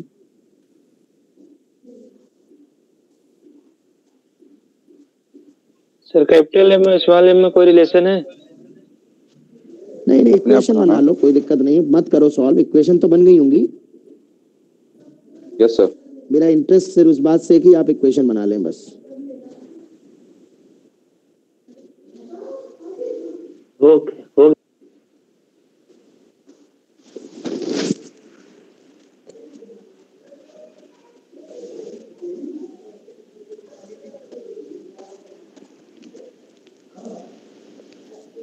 sir capital M small m में कोई रिलेशन दे दे तो आंसर आ जाएगा। हाँ, ले लो यार तुम्हें आंसर चाहिए कितना लोगे? क्या करोगे आंसर ला के ले आना आंसर ओके सर देखो पहले मुझे ये बताओ फाइनल फ़ोटो क्या होगी? थीटा बेंड होगा। सर बाद में पार्टिकल की वेलोसिटी ज़ीरो हो जाएगी लेकिन ब्लॉक के पास वेलोसिटी आ जाएगी। और पार्टिकल की वेलोसिटी ज़ीरो हो जाएगी। तो दोनों सेम वेलोसिटी से मूव करेंगे Aditya Chauhan Aditya Chauhan your statement is wrong तुमने कहा आप पार्टिकल की ज़ीरो हो जाएगी और वेज के पास आ जाएगी ये रॉन्ग स्टेटमेंट मानूँगा मैं। ट्रॉली और पार्टिकल दोनों सेम वेलोसिटी से मूव करेंगे। ये अच्छी लाइन बोल रहा है कौन बोल रहा है ये? सानिध्य हाँ। बिल्कुल सही बात है। सर वही तो मैं भी कह रहा हूँ। तुमने लाइन गलत बोली ना तुम अगर तुमने कहा पार्टिकल की वेलोसिटी ज़ीरो पार्टिकल की ज़ीरो हो जाएगी। ये लाइन नहीं बोली ना तुमने वेज के रिस्पेक्ट में नहीं बोली ना इसलिए तुमने तुम्हें ज़ीरो नंबर दे दिए तुरंत। समझ रहे हो. की गुंजाइश नहीं आदित्य चौहान। बेटा बड़ी ऑब्वियस सी बात सभी ध्यान दें कि जब ये मैक्सिमम एंगल पे होगा तो ये रुक जाएगा लेकिन ये रुका हुआ किसको दिखाई पड़ेगा इस ऑब्जर्वर को? अब आप देखो लेकिन तब तक क्या होगा जब ये मूव मोशन कर रहा होगा कई बार बच, कुछ बच्चे तो इसको ट्रॉली को पीछे भगाने लगेंगे कुछ बच्चे पीछे ना भगा देना। ये टेंशन फोर्स देखो ट्रॉली पे ऐसे लगेगा हम अगर आपको दिखाएँ ये ट्रॉली है धागा टेढ़ा होगा तो ये टेंशन फोर्स ऐसे लगेगा। इस टेंशन का एक कंपोनेंट इधर आएगा जो कि इस ट्रॉली को इधर ले जाएगा। है ना? और ये वो केस नहीं है जिसमें मोमेंटम ज़ीरो होगा। तो एक कप इधर पीछे आगे जा रहा है तो दूसरा पीछे जा रहा है। ऐसा नहीं है बेटा। इसमें वेलोसिटी दे के छोड़ा है उसको, ठीक है? चलिए। तो यहाँ पर बेटा जब ये रुका हुआ दिखाई पड़ेगा, किसको दिखाई पड़ेगा? रिलेटिव टू वेज तब तक वेज कुछ वेलोसिटी ले चुकी होगी और ये वेज के रिस्पेक्ट में वेलोसिटी ज़ीरो होगी। वेज के रिस्पेक्ट में ज़ीरो होगी, इसका मतलब ग्राउंड के रिस्पेक्ट में दोनों की वेलोसिटी सेम होगी। तो रेस्ट पे है, इसको दिखाई पड़ रहा है रेस्ट पे, पर पर जो जो आदमी ज़मीन पे खड़ा होगा, इसको, इसकी वेलोसिटी भी वी दिखाई पड़ेगी। जैसे एक मैक्सिमम हाइट वाला सवाल नहीं किया था हम लोगों ने पिछली बार? किया था कि नहीं किया था? याद नहीं आ रहा किया था, याद आया। जिसमें मैक्सिमम हाइट पे दोनों की वेलोसिटी सेम हो जा रही थी। तो ये बस अब आपको देखना है कि ये थीटा एंगल पे ऐसे गया तो ये हाइट कितनी गया है? एच एच चढ़ा है l minus l cos theta तो बस मोमेंटम कंजर्व कर लो। पहले इसके पास वी नॉट वेलोसिटी थी, इसके पास ज़ीरो थी। तो एम वी नॉट एक मोमेंटम कंजर्वेशन होगा। सबसे इंपॉर्टेंट बच्चों, इस सवाल में यही सोचना है कि जब मैक्सिमम हाइट पे पार्टिकल पहुंचेगा तब वेज के रिलेटिव में रेस्ट पे दिखाई पड़ेगा। भाई, पेंडुलम रुक जाएगा ना उस वक्त पार, लेकिन ट्रॉली चल रही होगी, ट्रॉली से लटका होगा तो चल तो वो भी रहा होगा, लेकिन ज़मीन पे खड़े आदमी को दिखाई पड़ेगा। ट्रॉली के रिलेटिव में ज़ीरो होगी वेलोसिटी है ना? तो जो ट्रॉली की होगी, वही पेंडुलम की हो जाएगी ग्राउंड वाले ऑब्जर्वर के लिए। और हम तो ग्राउंड वाले ऑब्जर्वर के लिए मोमेंटम कंजर्व कर रहे हैं। एनर्जी कंजर्व कर देते हैं तो इनिशियल पोटेंशियल एनर्जी अब देखो काइनेटिक एनर्जी ज़ीरो ना लिख देना पहले half m v not square थी। Initial potential energy plus m g h h को लिख दे रहे हैं l one minus cos theta और बाद में दोनों की काइनेटिक एनर्जी स्पीड सेम है तो ऐसे लिख लो। यहाँ से आप v की वैल्यू निकालो, v की वैल्यू v यहाँ पुट कर दो इस वाले टर्म में तो बस आपको थीटा निकालना है थीटा आ जाएगा। तो एक चीज़ बच्चों तुम देख रहे हो, जितने भी अच्छे सवाल बनते हैं मोमेंटम के कंजर्वेशन ऑफ़ मोमेंट उनमें एनर्जी ज़रूर यूज़ होती है। तो इसलिए मैकेनिक्स में जैसे जैसे बच्चों अच्छे सवाल करने बैठोगे तो तुम देखोगे चार पाँच गिने चुने, मैं बार बार कह रहा हूँ बच्चों, कि एनर्जी कंजर्वेशन या वर्क एनर्जी थ्योरम लगाओगे, दो में से कोई एक, या फिर बेटा आप मोमेंटम कंजर्व करोगे उसमें, आगे जब और चैप्टर पढ़ोगे तो एंगुलर मोमेंटम आ जाएगा, शामिल हो जाएगा इसमें एम्पल्स आ जाएगा। यही चार चीज़ें घूम फिर के लगती हैं। ठीक है ना? बाकी इसके अलावा थोड़ी थिंकिंग फिजिक्स होती है कि भाई आपको स्टेट के बारे में सोचना है, सारी चीज़ें सोचनी है। ओके तो इसलिए आप ध्यान से देखिए, जो कंप्लीट क्वेश्चन बनते हैं, उनमें होता है थिंकिंग प्रोसेस विचार कैसे करोगे सवाल के बारे में। प्लस फिर आप उन लोगों, ये होता है कि कौन से लॉज यूज़ होने कौन से प्रिंसिपल यूज़ होने ये ध्यान रखना होता है, ठीक है? चलिए दैट्स ऑल फॉर टुडे आज इतना ही रखेंगे। नेक्स्ट क्लास में बहुत मोस्ट इंपॉर्टेंट लेक्चर्स लेक्चर है होगा क्योंकि उसमें क्वेश्चन स्प्रिंग मास सिस्टम के क्वेश्चन आ जाएँगे और वो बहुत ही शानदार सवाल बनते हैं। कल का परसों का लेक्चर पूरा डेडिकेटेड होगा स्प्रिंग मास सिस्टम पे। जब भी होगा आज तो फ्राइडे है ना शायद? मंडे को होगा हमारा lecture thank you sir okay और सब लोग ऑन टाइम बच्चों अटेंड करो। तुम्हारे लिए इतना डांटता रहता हूँ। हाँ जी?